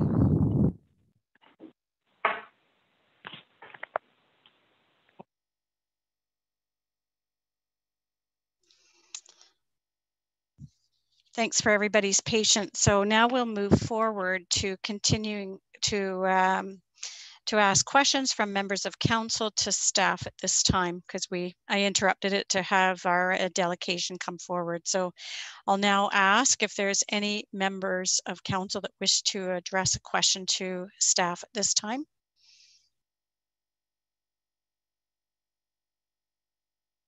And I don't see, oh, see if I wait long enough, I'll get someone. Uh, Councillor Devine, go ahead, Councillor Devine. Well, I have a number of questions. Um, I mean, this kind of come up out of the blue, to be honest with you. I mean, first I heard it was a couple days ago. Um, now maybe it's been the process for a while, but this this is a big decision for council, right? I'm very concerned about potentially putting in, well, 20,000 people on, on uh, 60 acres, 68 acres. I'm concerned that there's no public consultation. I'm very concerned about that. Does, it does not need to conform to the official plan. Um, schools, I believe, are going to be a problem, to be quite frank with you. And also the size of the units. If they create small units there, I honestly believe will take away from the downtown cores. If they put in 1,000, 1,200, 1,500 square foot units, I believe there'll be shops will set up there, small shops, and I believe that will take away from the core. Um, I'm very concerned there's no appeal procedure. Um, I mean, SmartCentres has 10 billion in assets and they're, they're a good company. Um, I, uh, be quite honest with you, I, have tried a lot of trouble getting my head around this right now. And I understand it's a 10 year plan, it's a 20 year plan, it's a 30 year plan. Uh, but you don't put together 30 year plans in an hour and a half. And that's what council's been kind of given here. Um, if somebody wanted to make a motion of deferral so we could study this a little further, I mean, I, would be happy to second it, but I'd certainly like to hear the rest, the rest of council. I, I, really would. And I know staff have put a lot of work into this. The region put a lot of work into it. Um, it's, it's a game changer for our city. Thank you, Councillor Devine. I'm going to see if um, staff would like to just weigh in.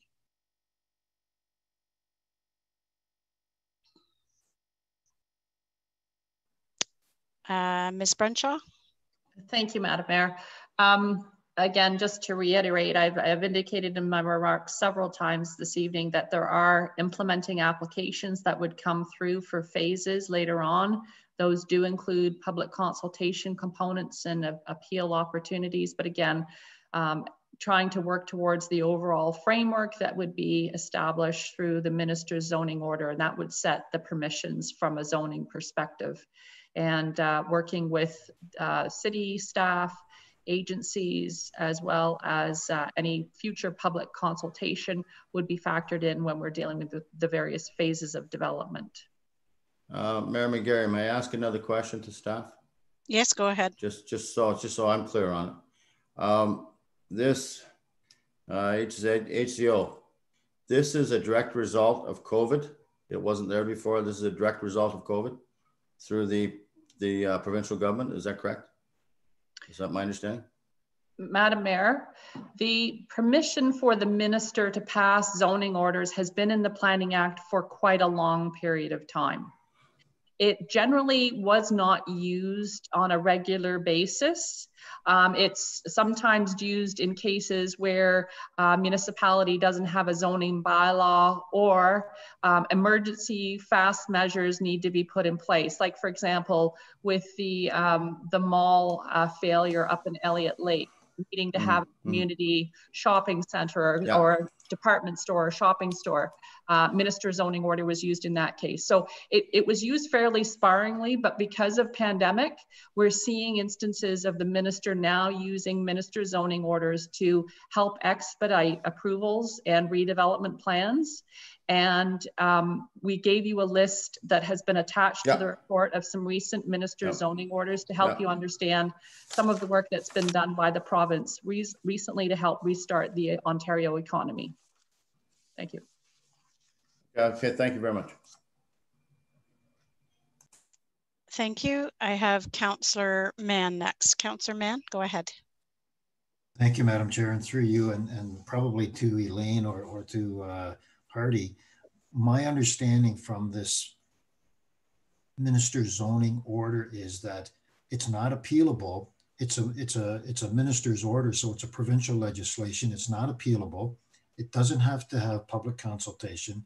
And this is a courtesy that's being offered to us from smart cities because they want our input, they want our involvement, they want us to be a part of it, but they don't have to come to us from what I've from what you've explained and what I've read. And so if even if we were to oppose this, they could still proceed with it and we would just have to go along. They would still have to get the approvals for the uh, for the communities or for the neighborhoods and those kinds of things. But my understanding from what you've said is that we can oppose this, but they will still proceed. We can agree with it and work with them and get something that will be uh, that we will have a say in as far as what they design. So I, I just want to make sure I have that right because that's important to me. That I, I know it's come to us in, in fairly short order, but it was just as a courtesy because they don't have to do this. Is that right? Madam Mayor, yes, that is correct. And the, the thinking is that it's better to work with SmartCentres on a solution in the zoning regulations rather than having SmartCentres going independently to the province. And as I mentioned, just because the request for the regulations is laid out the way it is, that does not prevent the minister's staff from making changes to those regulations. So deleting some of the regulations or changing the regulations or adding additional regulations. So the minister is not bound by what is, is requested uh, in the report tonight, but minister could, or the minister could decide not to issue a zoning order. So there are a variety of different possibilities that exist for the Minister of Municipal Affairs and Housing. Thanks, Elaine. And if I may, Madam Chair, the uh, the minister was the one who said that he wanted uh, smart cities to come to Cambridge and to bring it before council.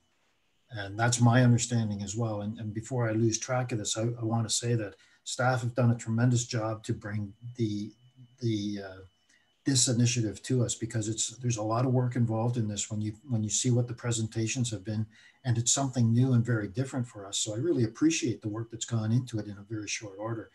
Uh, but again the minister was the one that said make sure you bring it to council and get their support or at least uh, bring it to their attention. Is that correct?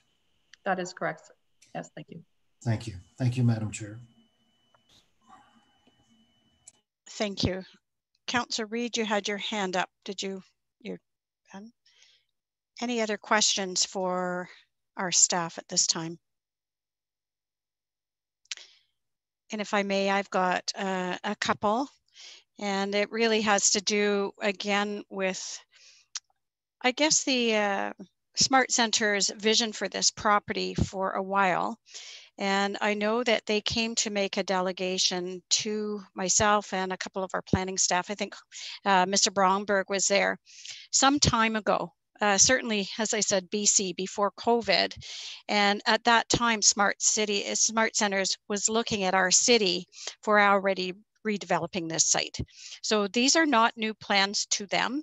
But once they had the opportunity to try and get things going as the pandemic was unfolding, and we lost several properties in that area, as you said, there's 27% uh, vacancy on the land. I think at that time, uh, they knew that the minister is uh, and our government is trying to move ahead with economic development and recovery in certain cities. So, my question to you, uh, Elaine or Mr. Bromberg, would be the plans that have come to us today from SmartCentres are they much different from what we were originally talking about when they were sort of bringing forward the idea of redeveloping this and, and looking at concepts of what this property could look like in the future? Madam Mayor, the, the concept that you're that you're seeing today is has been talked about for uh, several months with SmartCentres but you can see from the information, it's still very conceptual. It's still fluid um, and will be refined as they come forward with specific phases of development. But this is the concept that we have been generally talking to SmartCentres about for several months. Thank you. Thank you. And really a follow up to that would be, um, we've talked a lot about public consultation. And I remember I lived in the city too when the OMB and the, the long OMB hearing was going on about the uh, the mall property at the time, and there was some public consultation around there. But if I have it correctly, with our official plan um, consultations and the regional official plan, because I think they have a, a stake in that particular property, has there already been public consultation in that general area on our official plan? And the fact that's why one of the one of the reasons why staff is supporting this at the moment is because it does, this redevelopment does comply with our official plan? Uh, Madam Mayor, you're quite correct. The region has started consultation as part of their major review of the regional official plan. It's called their Municipal Comprehensive Review. And they have been starting on early consultation for the planning for those station areas that I talked about, the major transit station areas and the lands within 500 to 800 meters around the stations that are uh, being proposed for Cambridge. They're not perfect circles. They take into consideration a number of different factors, but as I mentioned in my remarks, the Smart Center site is definitely within the area known as the major transit station area. And this does align with the city's official plan because there have been policies in, the, in our plan since 2012 giving opportunities to look at redevelopment for higher density mixed use development on the Smart Center site. Thank you. Thank you. And another follow-up question, uh, if I may. Um, we've talked a little bit about the transit hubs and how important it is to have a higher density in order to provide the business case for upper levels of government so that they can then uh, accept our business case for our LRT and hopefully the, the GO train link. And from what I recall, the requirement is for a much higher density around those transit hubs, including some of the affordable and attainable housing, which uh, the Smart Center has committed to at least um, uh, verbally and in their design. but again, when it comes to that business case, is there a particular number or level of density, whether it be jobs or residential, that the province is looking for when it's looking to those transit hubs? Madam Mayor, um, in the provincial growth plan, the target is 160 persons and jobs per hectare within the major transit station areas. Now that um, doesn't apply to each property. There can be higher densities on some and lower on others within the major transit station area, but that's the general target that the province has set. But as I indicated in the earlier comments, uh, a minister's zoning order doesn't have to align directly with that. There could be an exceedance of density, which is what is being requested for this particular area. Okay, and uh, last question, if I can remember what it was.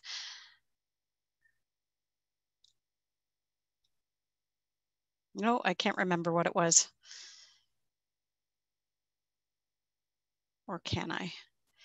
Again, I think it, it's really about, again, the complete communities and the ability to uh, get to and from that, that transit hub.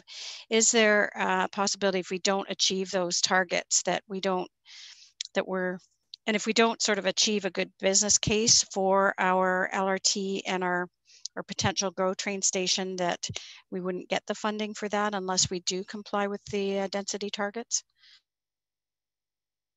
Madam Mayor, what I can tell you is that in planning, we can provide the planning framework to encourage the development to come forward. Then it's up to the, the individual landowners or people that are looking at doing land assemblies to then help build in accordance with the, the planning framework. So the municipality can provide the framework and we can encourage development. Um, and that really is how we work together with the development industry and our agencies as well to try and then plan and increase transit ridership along the LRT route. I don't know the actual capacity or threshold that would be uh, needed for funding, but I can tell you that all the work that we're doing is trying to progressively build that planning framework to increase transit ridership and make um, LRT viable. Thank you. Okay, thank you. And I guess that would also uh, be in line with the secondary plan that we've been planning for Hespeler Road as well. Okay, I see a nod.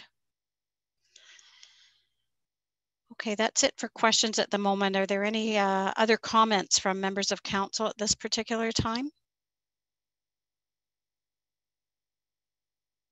Any comments? Seeing none, I think we're ready to call for the vote. Madam Mayor or Madam Clerk? Oh, Councillor Devine has left his screen. We put the motion on the floor. Mayor McGarry? Oh, maybe that's a good, fine idea. Yeah. Yeah. All right.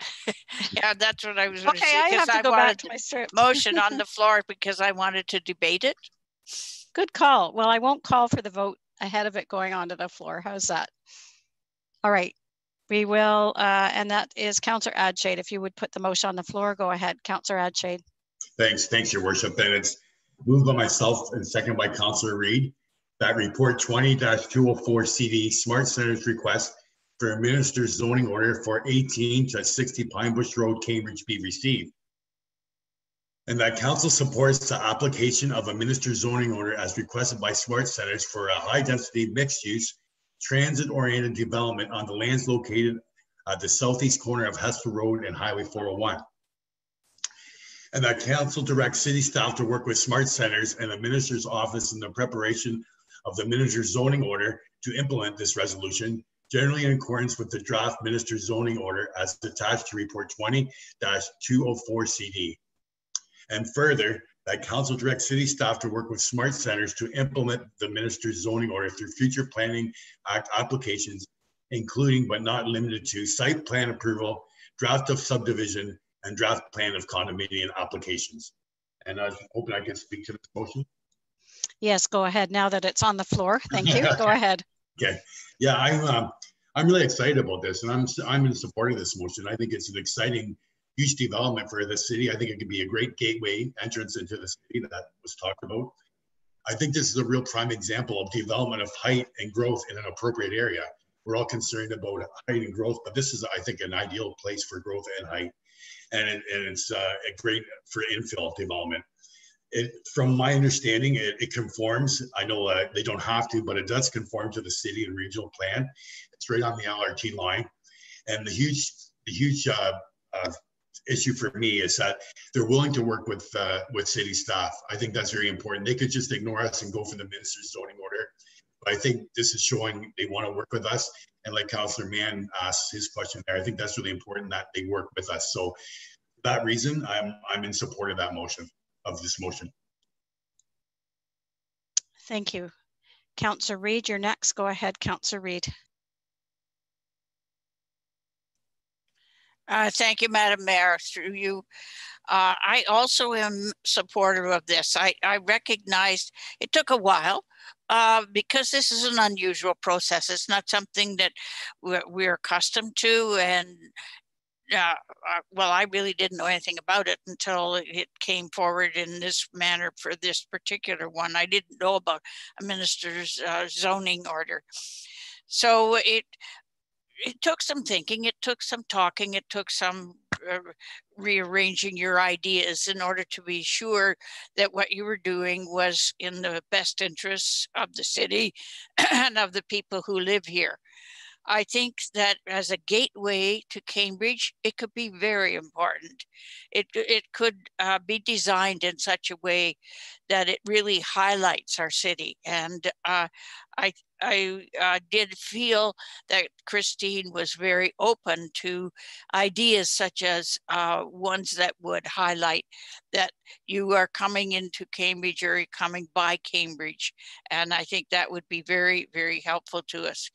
I believe that uh, um, because it's by the major uh, transit area and also hopefully the GO line uh, to Guelph uh, for the train, that that is going to add a great deal to uh, our community. And we know it's not going to happen tomorrow, but unless we start planning now, it will never happen.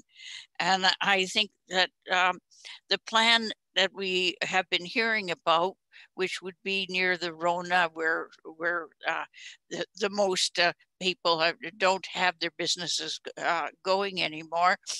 That that if we can start with there and then proceed, I think it would be very helpful. I know that working together is always better it's always better when we can talk to each other and we can try and figure out what the problems are and see what we can do about easing those problems. So I, I see this as a great opportunity for our city to move forward and, and to make that particular area of the smart cities uh, really a viable, complete area that uh, will work extremely well for us. So I definitely am going to be supporting this motion. Thank you. Thank you, Councillor Mann, and then Councillor Wolf. Councillor Mann. Thank you, Madam Chair, and through you. You know, we've talked a great deal about uh, maintaining our three core areas, and we've talked about making sure that our heights of our buildings in the core areas are not going to overshadow the heritage buildings that we have in our downtown cores. And I think I think this is a way that we can have the intensification in an area that doesn't affect the three the the uh, heritage integrity of the three cores. And and what it does is it allows us to maintain that history and that culture and those very attractive uh, and uh, very different core areas within our community and still have a very uh, dense location which is what everybody is looking for. So I, I, look at it and i think as councillor reid has said it's a good location for growth and for the uh, uh, the intensification. And um, uh, we've got the LRT there, and that would certainly help us when we look at the future plans for LRT, and it just it just reinforces that. I like the idea that uh, smart cities want to work in collaboration with the city, and they've demonstrated that in the presentation that they've presented, and they've demonstrated that in uh, in, in the comments that staff have made. It will definitely change the skyline of our community, and uh, that's something that uh, I think uh, we all have to look at and say, instead of coming into Cambridge and and uh, and, and, just seeing the 401 and and and uh, small buildings on the side, we're going to see something very significant and very real, and it'll be as uh, as we've heard, it'll be a great gateway into our community, and I think that will benefit us, and it's something that the city needs uh, because right now we're overshadowed a little bit by, by Kitchener and we're the corridor between uh, London and Toronto on the 401. This will really help to identify Cambridge as, as a place where, where it's all right here, as we say. And uh, the only thing that I would say, and I'm very supportive of this motion, the only thing I would say is that if construction is going to start in the in the early sooner rather than later, we have construction on the 401 with the widening of the 401 in exactly the same location, and we have to be mindful of that. that and that's going to occur at the same time. But uh, as others have said, uh, I too am in support of this uh, of this motion. It's very exciting for uh, it's a very exciting time for our community. Thank you. Thank you. I've got Councillor Wolf, then Councillor Devine, then Councillor Ermeta. Councillor Wolf. Uh, through you, Madam Mayor. Uh, when I first read this motion, I was very concerned, uh, concerned about the lack of public consultation, not being able to appeal, and the not having to comply with the official plan. Uh, but staff have answered those, those concerns very well, I think, tonight. And uh, I think that since we actually will have public consultation and uh, we will be following uh, staff's lead with uh, working together with the Smart Center people. Um, as Councillor Mann said, working together is always better. And uh, I have great faith in our staff that we will be able to um, build a, a, a good project here. I was also very pleased to hear that they are planning to have affordable housing in this project. Um, as you know, that's one of our greatest needs at this time in our city. Um, Councillor Mann also mentioned preserving our heritage treasures in our core areas. And by having an appropriate high density development near the 401, um, we will help to do that. So, um, though I was concerned at the beginning, I now can fully support this motion. Thank you. Councillor Devine and then Councillor Meta. Councillor Devine. Yes, thank you through the chair. There's no doubt that it's a different type of project. Um, it's exciting, but it can also be very dangerous as well. I, I am concerned. Okay, we're going to be putting uh, up to, well, it sounds like up to 20,000 people in 60 acres. There's no public consultation. That's concerning. Does not need to conform to the official plan. That's concerning. The minimum size of the shops or the commercial areas, um, that needs to be watched very, very closely. Not able to appeal, that's concerning. So just just on that basis and schools, um, I mean, there's nowhere around there for those children to go to school. There's already one development out there that is going to be problematic, and now we're putting another one, not a school in the area, unless there's. I mean, clearly the kids are going to have to be bused. Or I was serious about the bridge cross 401. Okay, that that is imperative to get these these folks back and forth to school. It's actually imperative. And we can put the walkways we, all we like on, on Franklin Boulevard, or we can put them on Highway 24.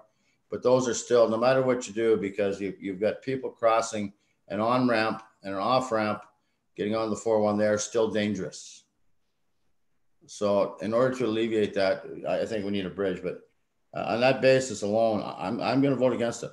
I, I, have, I have great difficulty with this because the procedures that are in place, um, and city staff will do a great job on it. It will get passed. City staff will do a great job on it. It's not city staff I'm concerned about, to be quite honestly, because we got great city staff and the people who've been dealing up till now have done a fantastic job. But it's not city staff I'm worried about. So I'll be voting against it. Thank you. Councillor Ermeta, go ahead. Well, thank you, Your Worship. Um, I do appreciate all the comments I've heard to date. I certainly am familiar with the Minister zoning order. Um, one of the examples is the Toyota plant in Woodstock. I mean, I always wondered how that got done so quickly, and that is why. Um, I, our staff are excellent, and I think that um, it is good that SmartCentres did have the courtesy to come to council when they didn't have to, so I appreciate that. Um, I there are a lot of issues to work um, to work through with this. Um, Obviously, it is a good spot for high density being out of the heritage cores and beside the highway and on a rapid transit route. But at the same time, traffic congestion is a huge headache in that area right now. And I think we have to be very mindful of that. And um, I, and Councillor Devine raised a good point about the schools. And um, he mentioned the size of the stores and the impact in the downtown. That's something to be mindful of. I also say too, the size of the apartments, that's also going to be an issue because uh, my aunt and uncle bought a condo recently and 75% of the building is empty and it's all small units. So this is something we, we need to be watching. And um, Councilman did touch earlier that this development does need to be unique to Cambridge, that we don't want to look like an extension of Toronto. We're our own community and we need to work with SmartCentres and the community and our staff to be able to come up with the made in Cambridge solution. So anyways, um, those are my comments. I do want to make another comment. It's already been mentioned, but I want to have it on the record that we do need to have public meetings when these phases come in. You know, even if it's um, a plan of condominium where it's not required, we need to have public meetings and get that adequate public input. So I want to be on the record of saying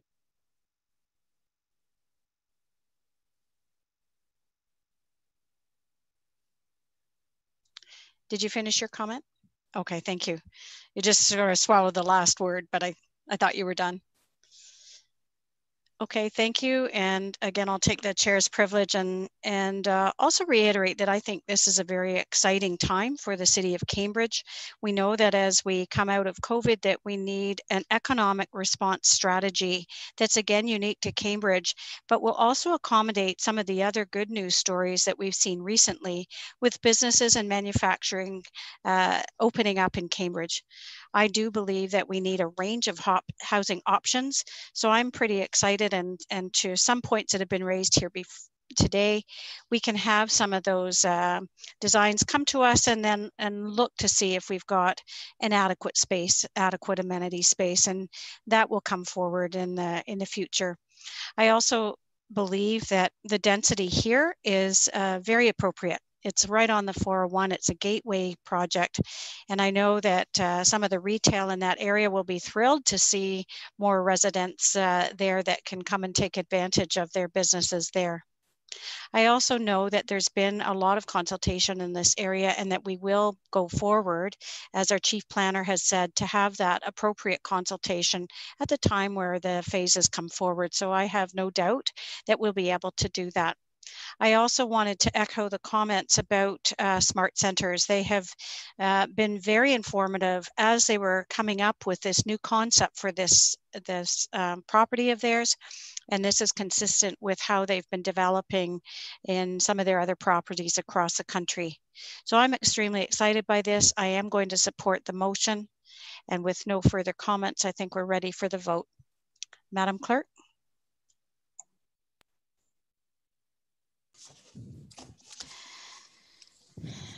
Thank you. Councillor Adshade? In favor. Councillor Devine? Nay. Councillor Mehta? In favor. Councillor Mann? In favor. Councillor Reid? In favor. Councillor Wolf? In favor. Mayor McGarry? In favor. And that carries. Thank you.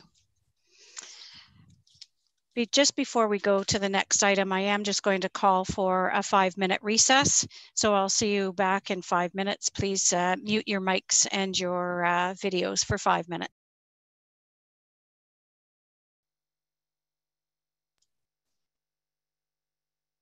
Okay, welcome back everyone. Thanks for your patience.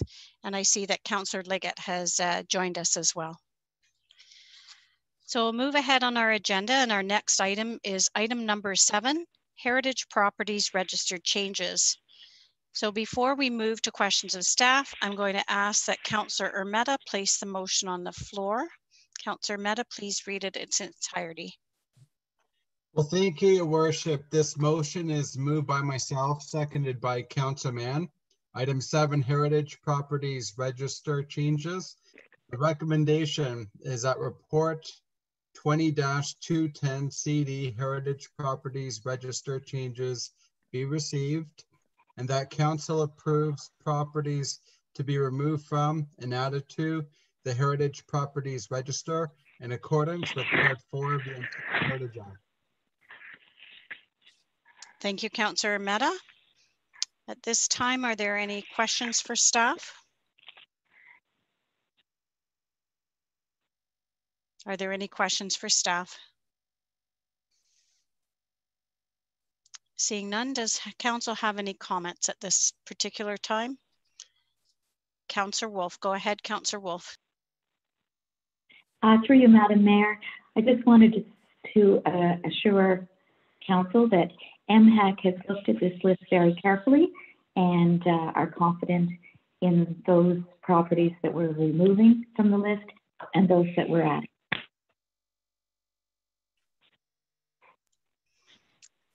Thank you. Are there any other further comments? Seeing none, now I'll move to the vote. Madam Clerk. Councillor Adshade. In favor. Councillor Devine. Aye. Councillor Meta. In favor. Councillor Liggett. In favor. Councillor Mann. In favor. Councillor Reid. In favor. Councillor Wolf. In favor. Mayor McGarry. In favor. And that carries. Thank you. Our next item is item number eight, development charge and community benefit charge legislation update. And before we move to uh, questions of staff on this report, I'm going to ask that Councillor Mann place the motion on the floor. Councillor Mann, please read it in its entirety.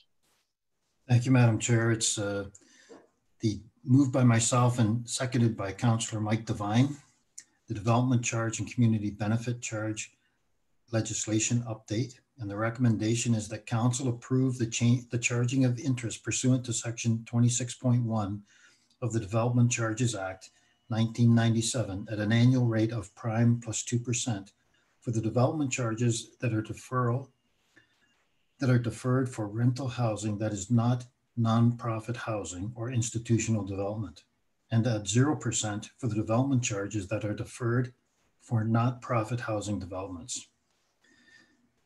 And that council approve the charging of interest pursuant to section 26.2 of the Development Charges Act 1997 at an annual rate of prime plus 2% for development charges that are frozen prior to building permit issuance and the council authorized the city's chief financial officer to execute any agreements related to development charge payment agreements and section 27 agreements for payment of development charges before or after payments would otherwise be made in a legal form satisfactory to the city solicitor and upon business terms satisfactory to the chief financial officer. And further, that council approve the development charges interest policy attached in Appendix A. Thank you, Councillor Mann. So I'll move now to uh, any questions from members of council to city staff at this time. Are there any questions? Seeing none, does council have any comments? Last call. Seeing none, I think we're ready uh, for the vote. So I'll ask Madam Clerk to call for the vote. Madam Clerk. Councillor Adshade. In favor. Councillor Devine. Aye. Councillor Mehta. In favor. Councillor Liggett. In favor. Councillor Mann. In favor. Councillor Reid. In favor. Councillor Wolf. In favor. Mayor McGarry. In favor. And that carries. Thank you. Our next item is item number nine, P20-56 aerial fire truck. So again, before we move to questions of staff, I'll ask that Councillor Reid place the motion on the floor. Councillor Reid, please read it in its entirety. Thank you, uh, Madam Chair. So the motion is uh, moved by myself and seconded by Councillor Ermeta. The recommendation that report 20-217 CRS aerial fire truck be received and that council approve a capital project budget of 1,430,000 to be funded from the Equipment Reserve Fund Fire and that council approve the transfers to uh, dash from reserve funds as outlined in the financial impact section of this report. And further, that council approve the award of proposal P20-56 aerial fire truck to Commercial Truck Equipment Company of Delta, BC for the total cost of one million ninety thousand four hundred and fifteen dollars and fourteen cents in U.S. funds. This being the only submission received. Thank you, Councillor Reid. So at this time, we can move to questions for staff. Is there any questions for staff on this item?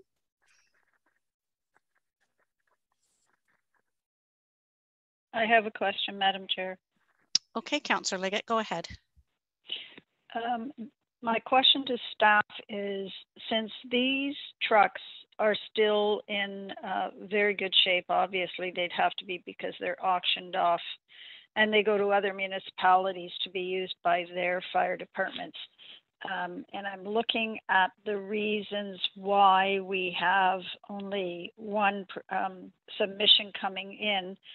Uh, as staff has stated prior that um, with COVID and then the lack of staff in the summer and their other commitments, I'm wondering why we would not look at holding off on purchasing this for another year. I realize it would be uh, delivered about the end of 2021, but why we wouldn't look to the end of 2022 because obviously our trucks are not expired; they're still the at their best before date. Um, so uh, I'd like a response as to whether that is an acceptable option and the money that we would be putting in at this point in time if we just put it into the reserve fund because we know we're going to have to buy a truck anyway at some point but why don't we just wait so we have that option of having uh, more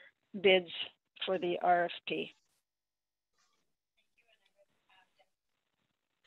Thank you. And I'm going to have Deputy City Manager um, Dave Bush to start to answer that. And I also note that we have Deputy Churchill on the line as well. So go ahead, Mr. Bush. Through you, Your Worship, and to Councillor Liggett, thank you for the question. Uh, we traded some information today in emails, an extensive amount of information. Um, one piece that uh, we didn't. Oh. Sorry. Just a lot of feedback. Yeah, Councillor Liggett, could you put your phone on mute for the time being? Oh, sorry, I didn't realize that I, yeah. Thank you. Go ahead, Mr. So enough, through you, your worship, uh, an update I received late in the day today and, and uh, Deputy Brad Churchill's here today as well. He could speak to this if need be. Uh, the unit in question is a 2001 American LaFrance. Uh, that unit, uh, a couple of things. Typically, uh, a fire apparatus is used frontline response for 15 years and then in reserve for five. This unit uh, was 15 years. And then if, if council recalls that we had an accident with one of our new aerials, the Raptor it was called, it was out of service for two years. So we continued with this unit, the American LaFrance, for another two years of active first line service. The issue with the American LaFrance right now is the company has gone bankrupt and they're out of business, uh, went out of business in 2008. Therefore, parts for the 2001 are very difficult to procure and very costly at this time. So the recommendation from fire is that it be replaced. And, and the 20 year average is uh, a standard in the industry for that. And to the other point around procurement, we did send this RFP out for our regular procurement process. Uh, we had 10 takers of the RFP and only one respondent. We talked to a number of the respondents. Uh, scheduling, as, as mentioned in the report, it takes about 10 uh, anywhere from 12 to 14 months to build the fire truck and have it serviced and put into service. So at times when they take the bids, they can't schedule that into their program. So out of the 10, one responded. We followed up with a number of them, number of issues, staff shortages, uh, conflicting schedules, commitments, building time, etc. So the urgency on this one is one, it's due. Uh, two, it's been uh, used extensively and we cannot secure parts for it. So I hope that answers the question. Thank you. Councillor Liggett, do you have uh, further questions to that?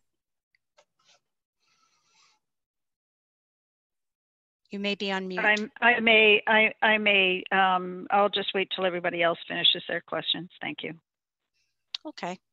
We'll move ahead then to Councillor Devine and then Councillor Mann. Councillor Devine. Yes, uh, through the mayor, I believe this is to staff.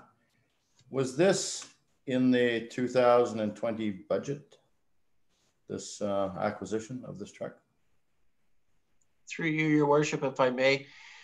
Uh, this unit right now is not in 2020, it's in the 2021 budget. It's before council today because it takes that amount of time, 12 to 14 months to secure. So we need we need council authorization to engage to have this unit built. The expenditure will take place in the 2021 budget. Okay. Thanks. Okay, on to Councillor Mann. Councillor Mann. Thank you, Madam Chair, and through you. And first, I just want to thank uh, Dave and, and staff for providing that chart with all the uh, listings of the vehicles today with their with their uh, date of purchase, date of uh, replacement, and those kinds of things. And, and you also provided me with the mileage on this vehicle of 204,000 and almost 12,000 hours of use. So, so it has been used uh, significantly and uh, and more than I even I had any uh, realization that it would be. And I also, in looking at that chart, Dave, I my question is the rationale behind the replacement strategy. So we replace these vehicles every 20 years, and we have about 20 or 25 of these um, high-end vehicles that need to be replaced every 20 years. So if we if we don't do it every year, and we double up on one year, we could have a significant impact on the budget because we have to double up years down the road if we want to extend the life of them. Is that right? Through you, your worship, there's that potential. We're not purchasing apparatus, and I call apparatus the larger fire trucks, what people generally think as a fire truck. There's a lot of supporting vehicles in fire as well. So there's constantly procurement happening for the fire service and they're spaced out as best as we can just for that, the economy of it. So the schedule that I sent to you today, we have a full uh, asset management plan for the fleet, and we follow that as good practice and as a standard that we've established here in Cambridge for all of our fleets, not just fire. Thank, thanks, Dave. And if I may, Madam Chair, as I looked at that chart, I saw the, the cost of a new vehicle compared to uh, the selling price when we when we do get rid of it. And it's uh, there's a significant reduction. And i think we have such a great vehicle that we're getting rid of and the and the and the value that we get for it is insignificant compared to the value of the vehicle in itself. But having said that i know that we have got to have the best of the equipment to look after our community safety and security is is paramount and we need to have the proper equipment to do that and uh, so I appreciate uh, the emails that went back and forth today. I appreciate the chart and the uh, information that was provided, and uh, that helped me in my decision-making process. Thanks. You're welcome. Thank you. Councillor Devine, I still see your hand up. Did you want to ask another question? Nope, it's down. Okay, are there any uh, further comments from anybody else? And I know Councillor Liggett may uh, may want to ask another one. Anybody else? No, go ahead, Councillor Liggett. Uh, thank you, Madam Chair. So, based, Dave, thank thank you for for that, um, and I certainly appreciated all of the questions and back and forth today as well. I, I think that was very healthy for us. Um, but based on your responses, I have one to follow up on uh, Councillor Devine's question, and then a curious question, uh, just strictly out of curiosity as well. So uh, Councillor Devine asked if that was in the 2020 budget, and you said no, it would be in 2021. But we have a projected capital budget going forward over uh, four years or whatever it is. Was that in the projected 20? Uh, 21 one and um, the comment about the lack of parts if we if we this is sold through auction how would another municipality buy the parts? Do we does this become scrap then if if parts aren't available or do we sell this at a loss? How does that work? Through you your worship. Uh, as far as uh, repurposing for the budget yes we have a 10 year projection on capital. So yes it, it, it's in that projection. So my my focus to councillor uh, Devine's question was the expenditure will take place in 2021. So the answer is yes there. To the second question around once, once our equipment goes to auction, um, very rarely does, does a retired fire apparatus be repurposed to another municipality, especially if it's a mid-size to a large size. Um, they would not be interested in that vehicle. It might go to a smaller uh, outfit or a private sector outfit. Uh, they typically, uh, municipalities of any size don't typically buy used equipment. We have in the past, given we had an accident, we needed to replace one. So that does happen from time to time. But typically, uh, mid-sized to large-sized cities follow the NFPA standard of 20 years um, for, uh, for retiring first-line vehicles. So that's the rationale there. Uh, what happens after auction and where they go, they, they go all over the place. Some people make barbecues out of them. There's all kinds of interesting things that take place, but some custom stuff.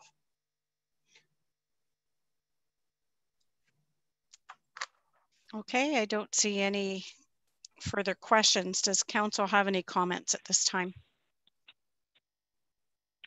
Sorry, Madam Chair, I was I was just cut off and I missed I totally missed uh, oh. Mr. Bush's uh, I just got back into the meeting again. So oh, was okay. it in the 20, 20 was it Go in ahead. the extended 2021 budget? It was such a great answer. He's going to do it all over again for you. Here he uh, goes. Uh, just, just a, just a quicker. Sorry. Through you, Your Worship. Yes, it was. Okay, and and do we sell it at a loss because it uh, can't get parts or what? Uh, we're at uh, any time we dispose of uh, fleet equipment, we're at the mercy of the auction. So uh, there's no guarantee. I, I put in a correspondence earlier today. Fire apparatus, larger trucks, typically anywhere from 100 to 200,000 dollars would be the recoup on that, um, on on average. Um, and and to your point around other municipalities purchasing used equipment, it doesn't happen very often, especially depending on size. Mid-size to large-size uh, municipalities uh, typically follow the industry standard of 20 years, so they wouldn't have interest in uh, a 20 year plus vehicle. Okay, thank you. You're welcome. Thank you. Okay, thank you. It's safe then to move forward to Councillor Mann. I see your hand up again. Councillor Mann. Thank you, Madam Chair. And, and through you, just a comment. Um, would it be worth having staff take a look and see if we could get, uh, instead of just 20, 25 years out of our vehicles, what are the pros and cons of that? And uh, just to come back and let us know here's here's why we should here's why we shouldn't. And uh, and a recommendation is that something staff could do over the next uh, uh three or four months? Through your worship yes not a problem. Thanks dave. Thanks your worship. Okay thank you. Are there any other comments from members of council Seeing none, I'm now going to ask our clerk to call for the vote. Madam Clerk? Councillor Adshade. In favor. Councillor Devine. Aye. Councillor Mehta. In favor. Councillor Liggett. In favor. Councillor Mann. In favor. Councillor Reid. In favor. Councillor Wolf. In favor. Mayor McGarry. In favor. And that carries. Thank you. So we'll move next to our next item, which is item number 10, the one-year extension of regional maintenance agreement. So again, before we move to questions of staff at this time, I'll ask that Councillor Devine place the motion on the floor. Councillor Devine, please read it in its entirety. Infrastructure Services, number 10, one-year extension of regional maintenance agreement, page 108 to 162. Motion to be moved by myself and seconded by Councillor Liggett. Recommendation, the council staff report 20-220 bracket IFS, one-year extension of regional ma maintenance agreement be received. And that mayor and clerk be authorized to execute an additional one-year extension to the area maintenance agreement, subject to the satisfaction of the city solicitor with the regional municipality of Waterloo for the city of Cambridge to continue to provide summer and winter maintenance services on selected regional roads within the city of Cambridge for the period from January 1st, 2021 to December 31st, 2021, as outlined in this report.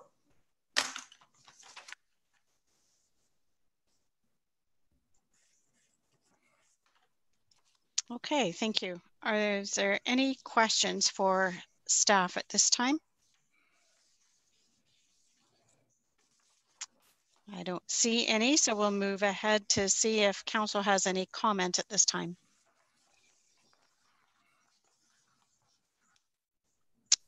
Last call. Seeing none, I'll now call for the vote. So Madam Clerk, please call for the vote. Councillor Adshade.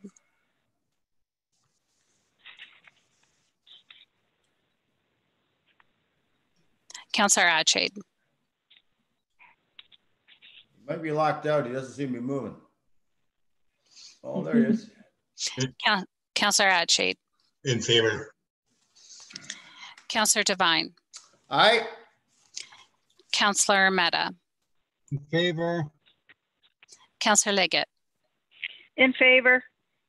Councillor Mann. In favor. Councillor Reid. In favor. Councillor Wolf. In favor. Mayor McGarry. You're on mute. In favor. Thank you. And that carries. Thank you. I don't know, sometimes my button, I hit it and it clicks back again.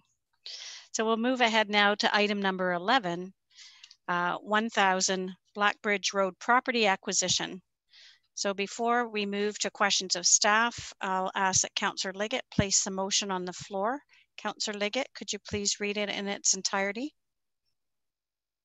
Yes, uh, I'm not sure who my seconder is on this, but moved by myself and seconded Council. by Councillor Ermeta. seconded by Councillor Meta. That council authorizes the purchase of the property municipally known as 1000 Blackbridge Road and legally described as Part Lot 13, Concession 4, Beasley's Lower Block Township of Waterloo, Part Lot 1, Beasley's Middle Block Township of Waterloo, aka Bricker Lot, uh, Part Lot 167R 2686, except Part 167R 3015, Cambridge, the property in accordance with the terms and conditions set out in the agreement of purchase and sale. The agreement at a total cost not to exceed $2,475,000, inclusive of all applicable taxes and ancillary costs, and that the mayor and clerk be authorized to execute all documentation required to implement and give effect to the adopted recommendations as set, as set out in this report, subject to the satisfaction of the city solicitor. Thank you. Now I'll move to see if there's any questions for staff at this time. And I don't see any questions for staff. Does council have any comments? Any comments from council? Seeing none, I think we're ready for the vote. So Madam Clerk, will you call for the vote? Councillor Adshade. In favor. Councillor Devine. Aye. Councillor Mehta. In favor. Councillor Liggett. Happily in favor. Councillor Mann. In favor. Councillor Reid. In favor. Councillor Wolf. In favor. Mayor McGarry. In favor. And that carries. Thank you. So council, we will be uh, going into closed next. And prior to that, I'm going to request a motion to waive notice to add an item to the closed agenda related to the security of the property of the municipality uh, under 2392-A. So I'm going to see if somebody will, Councillor Mann, will you move so? Is there a seconder? Councillor Reid. And now I will have Madam Clerk call for the mo vote. Madam Clerk. Councillor Adshade. In favor. Councillor Devine. Aye. Councillor Meta. In favor. Councillor Liggett. In favor. Councillor Mann. In favor? Councillor Reid. In favor. Councillor Wolf. In favor? Mayor McGarry. In favor. And that carries. Thank you. So I'm now going to call for a motion to consider matters in closed session. Councillor Ermeta, I see you've already unmuted. As you have the motion, please read it in its entirety. Councillor Ermeta. Well, thank you, your worship. This motion is moved by myself, seconded by Councillor Reid. Consideration of matters in closed session.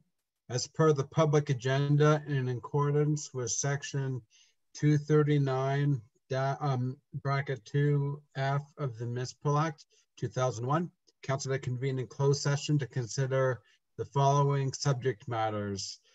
Number one, advice that is subject to solicitor client privilege, including communications necessary for that purpose, bracket regional official plan amendment number two. And number two, advice that is subject to solicitor client privilege, including communications necessary for that purpose, bracket litigation matter. And then there'll be some items for discussion. Item one, regional official plan amendment number two, ROPA2 appeal update, changes to agreed settlement. And then um, there's the litigation as well. So Thank you. And uh, now I'll have Madam Clerk call for the vote. Madam Clerk. And I'm just going to add under that, you're going to add the security of the property 239A is that to that as well. Sorry. uh, Councillor Adshade. In favor. Councillor Devine. Aye. Councillor Ermeta. in favor, Councillor Liggett. Councillor Liggett.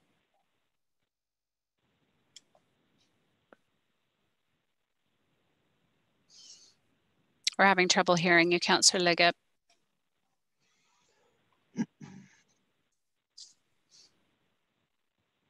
Okay, we're going to try to reconnect with Councillor Liggett.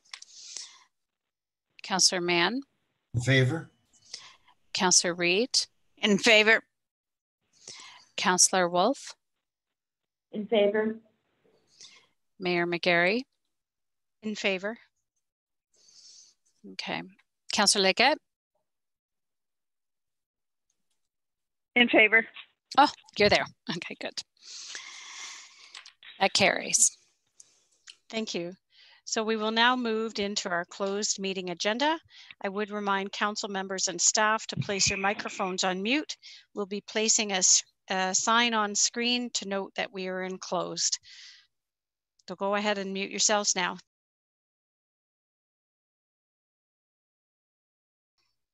Welcome back, everyone, to our special council meeting.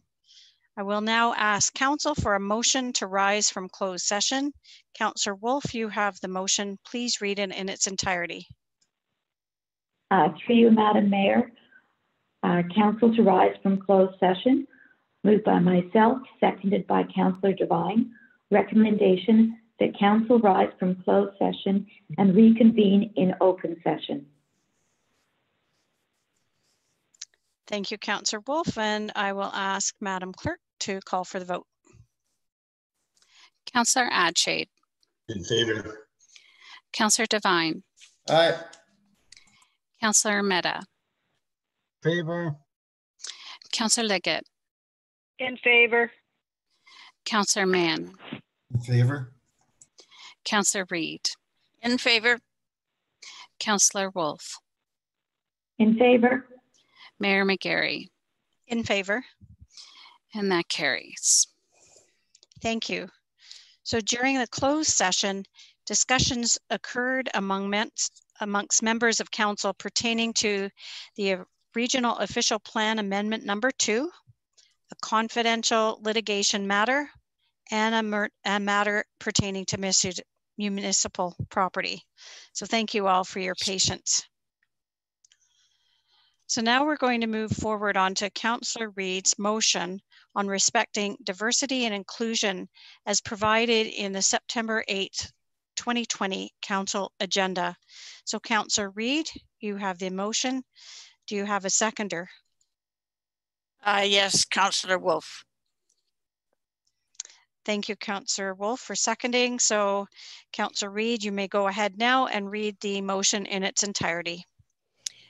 Thank you, Your Worship. So it's motion moved by myself and seconded by Councillor Wolf.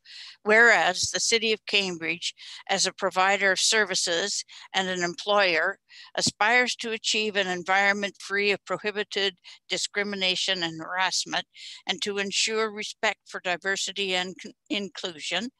And whereas the City of Cambridge has adopted the Stronger Together Diversity, Accessibility, and Inclusion Action Plan as of July 10th, 2018, committing to respecting diversity and inclusion of all people. Be it resolved that the City of Cambridge reaffirms its support of the Ontario Human Rights Code regarding the prohibition of discrimination and harassment based on social and economic status, disability, including mental health and addiction, and receipt of public assistance in housing. And I'd like to speak to it if I may. Yes, go ahead, Councillor Reid. Thank you. So I am bringing this motion forward to highlight our city values of integrity, respect, inclusiveness, and service. These values were highlighted in our strategic plan that saw great public input and of course was endorsed by council. We embark on an updating of our strategic plan and it's a good time to reflect on how well we have carried out those values. Our Ontario Human Rights Code prohibits discrimination against any person or community group. This is embodied in our value of inclusiveness. This council has taken stands in support of minority groups, such as LGBTQ2, racialized and religious groups who live in Cambridge. This is to our credit. However, we need to strengthen our support for those who are homeless, addicted, or suffering from mental illness. Council needs to be clear that discrimination against these communities is not acceptable. We need to support groups such as Citizens for Cambridge, who are bringing forward positive ideas to support this vulnerable population. Protests that claim they are not against this population ring hollow. The Cambridge Neighborhood Watch, through their spokesperson, said the council is more compassionate towards this vulnerable population Point of privilege. than the Point of businesses in downtown Galt. Just a moment. Point of privilege. I'm hearing you. I'm just trying to get Councillor Reid's attention. Go I ahead, was Councillor finishing Liggett. my sentence. Yes, she was. Councillor Liggett. Point of privilege.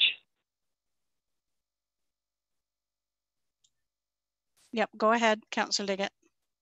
Oh, normally we don't state why. Um, because there are groups that are being named in a discriminatory matter by Councillor Reid. She is uplifting one group who she supports and denigrating another group of community members in another word. And that's not allowed.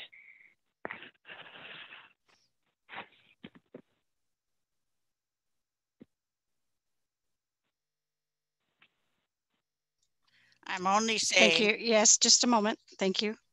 I'm just, yeah, no, we're going to uh, let Councillor Reid continue her comments. Go ahead, Councillor Reid. This group opposes any harm reduction measures that would keep addicts alive and build relationships with them Point of that could privilege lead to again, that's not factually and correct. recovery. Councillor Liggett, I have ruled on this and I'm going to I allow get it, but Councillor that's Reid. not factually correct. It's my ruling, Councillor Liggett. I heard your comment and I'm going to allow Councillor Reid to continue. This is discrimination based on social and economic status. It is discrimination based on mental health and addiction.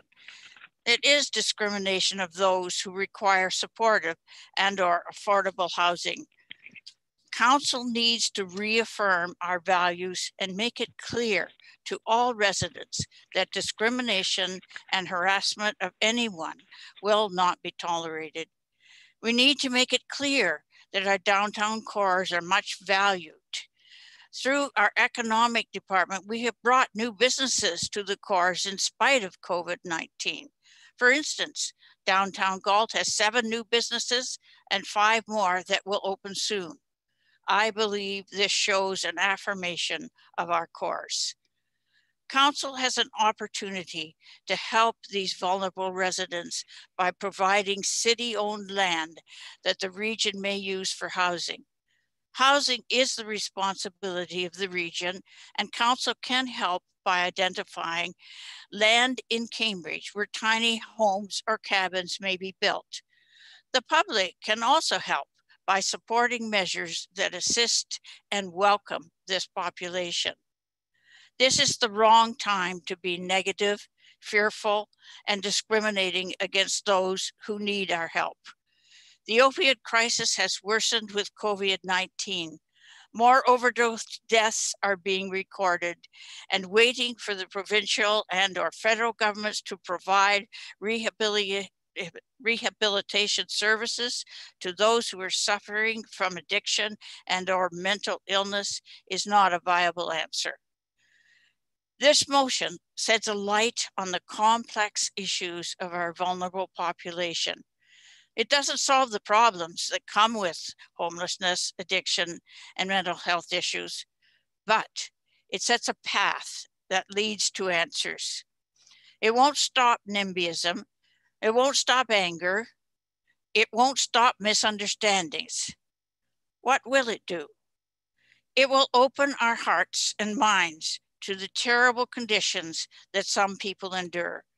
It will encourage us to see beyond the problems to the humanity of all people.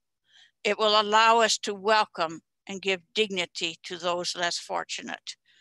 Let's reaffirm our values of integrity, respect, inclusiveness, and service, and live them every day as we grapple with the needs of everybody who lives in this wonderful city. Thank you. Thank you, Councillor Reid. And now I will um, ask for comments from members of council. So members of council, now's your time if you have comments. Madam Chair. Uh, go ahead, Councillor Liggett. I was prepared to accept this motion until I heard the derogatory comments about uh, a group of people who have a difference of opinion on how we uh, achieve and get to the same goals. Um, and I just because uh, somebody wants, you know, their narrative to be in a positive light by denigrating another group of people in our community doesn't doesn't make that narrative uh, correct. And um, I think that the group that uh, has been disparaged here tonight have repeatedly, repeatedly stated what their goals are. They just have a different way of how to get to those same goals. So to hold up one group in the community against another is very divisive. I don't think it's helpful to counsel at all. I don't even understand why this motion has come forward when all it is doing is the same thing we've all we've done in the past uh, with previous motions and accepting of reports, other than to be able to make a public statement to denigrate a segment of our community. And therefore, I will not support this motion. If it had been left as it was, I could have easily supported it.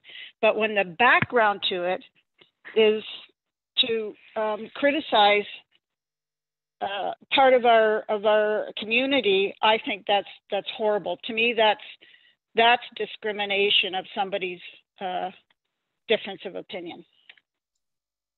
Thank, Thank you. you. Yep, and I do see it as a difference of opinion. Are there other members of council that would like to comment on this motion? Councillor Wolf, go ahead. Please unmute.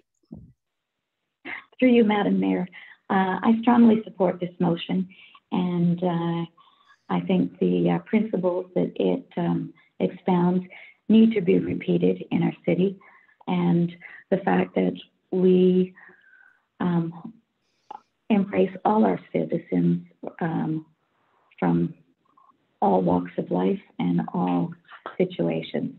And uh, we don't tolerate prejudice against them. And we need to do our best to find solutions uh, to, to many of the problems that um, uh, people are facing in our city. And uh, as Councillor Reid says, we should try to do this without fear and do it with compassion. Thank you. Thank you. Councillor Devine, go ahead. Councillor Devine. Yes, I strongly support the motion. I mean, that's that's what we all we all um, strive for. We should be striving for. But I certainly do not support any of the commentary. Okay, the motion should have left as it was, uh, without uh, you know finger pointing. Okay, so I will not support the commentary, but I will support the motion. Thank you. And any member of council who brings forward a motion is free to speak to their opinion on the motion. Councillor Mann, go ahead, Councillor Mann. Thank, thank you, Madam Chair, and through you, I too support the motion uh, as it is printed in, before us. And uh, I think that's something that we always need to do is reaffirm our support of the Ontario Human Rights Code regarding the prohibition of discrimination and harassment.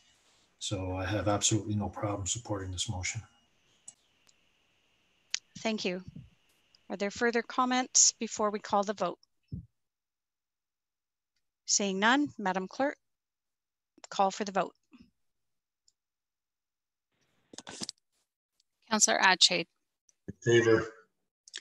Councillor Devine. Aye. Councillor Ermeta. Favor. Councillor Liggett. Opposed. Councillor Mann. In favor. Councillor Reid. In favor. Councillor Wolf. In favor. Mayor McGarry. In favor. And that carries. Thank you. Now we will move ahead to unfinished business. And I believe uh, Councillor Wolf had something that she wanted to bring forward. Councillor Wolf, go ahead. Uh, thank you. Through you, Madam Mayor. Uh, this is a staff direction. I'd like to direct staff to review how the municipality plays a role in fast tracking affordable housing based on the September 21st, 2020 announcement from the Canada Mortgage and Housing Corporation, CMHC, for Rapid Housing Initiative once funding criteria is established. So that's the direction. Uh, this announcement indicated $1 billion would be available to municipalities and nonprofits to cover the cost of modular housing, as well as acquisition of land and the conversion of existing buildings to affordable housing. And I'm particularly um, interested in the latter one. Uh, we're watching too much of our housing stock where we have older apartment buildings um, being bought out by private developers, renovated, and rents raised. So we have to keep an eye on maintaining the affordable housing that does exist. And I think this initiative is going to help us. So I look forward to hearing from staff soon as how we can take advantage of this rapid housing initiative.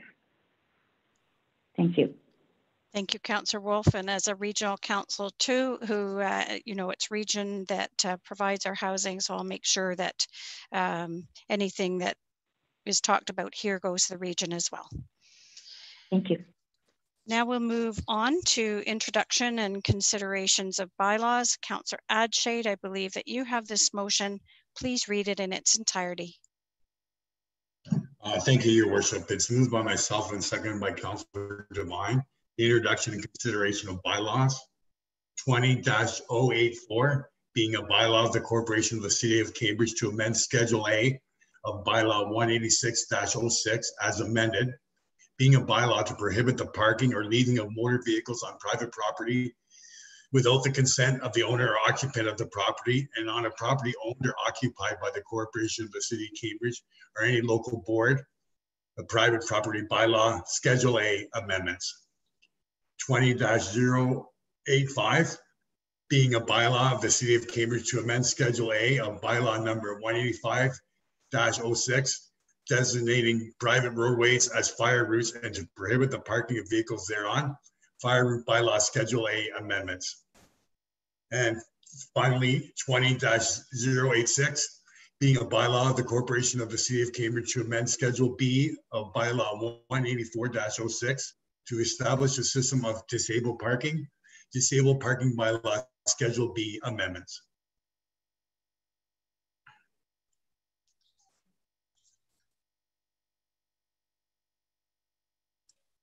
Sorry, is, did he miss a part? Yeah, there's there's a three more bylaws there. Did you see them, Councillor Adshade?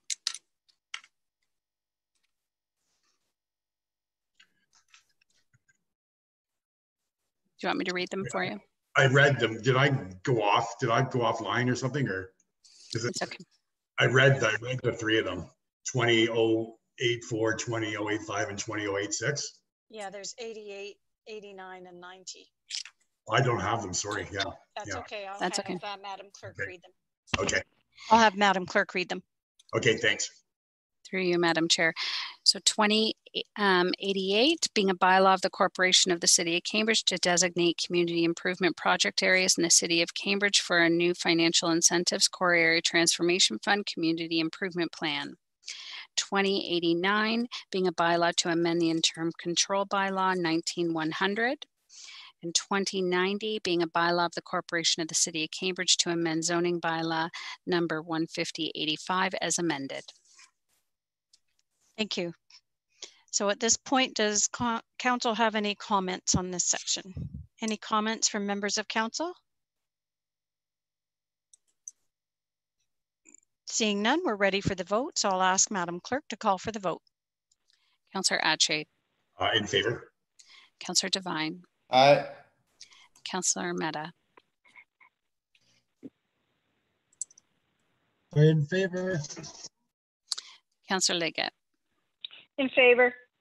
Councillor Mann, In favor? Councillor Reid, In favor? Councillor Wolf, In favor? Mayor McGarry, In favor. and that carries. Thank you. Our next item is the confirmatory bylaw. Councillor Wolf, you have this motion, so please read it in its entirety. Through you, Madam Mayor. Uh, moved by myself, seconded by Councillor Ermeta. 20-87, being a bylaw of the City of Cambridge to confirm the proceedings of the Council of the Corporation of the City of Cambridge at its meeting held on the 22nd day of September 2020, passed and enact- enacted this 22nd day of September 2020. Thank you. So I'll now ask Madam Clerk to call for the vote. Madam Clerk? Councillor Adshade, In favor. Councillor Devine, Aye. Councillor Ermeta, In Favor. Councillor Liggett, In favor. Councillor Mann, In favor? Councillor Reid, In favor? Councillor Wolf, In favor? Mayor McGarry, In favor. and that carries. Well, thank you. So now we've reached the end of our reports agenda. So Councillor Mann, you have this uh, motion for our close of meeting. Please read it in its entirety. I do, Madam Chair. Thank you. It's moved by myself, seconded by Councillor Adshade, that the council meeting does now adjourn at 8:16 PM. Thank you. And now I'm ready for the vote. Madam Clerk? Councillor Adshade. In favor. I thought you were going to say you were ready for something else. Councillor Devine. Aye. Councillor Ermeta. In favor. Councillor Liggett. Oh, Councillor Liggett. In favor, in favor. Councillor Mann. In favor? Councillor Reid. In favor. Councillor Wolf. In favor. Mayor McGarry. In favor. And that carries. That's so surprising. Anyway, I wanted to thank everybody for joining us today. Stay safe, everybody. Make sure that you look after each other. We're all in this together. Meeting adjourned. Good night, everybody. Good night.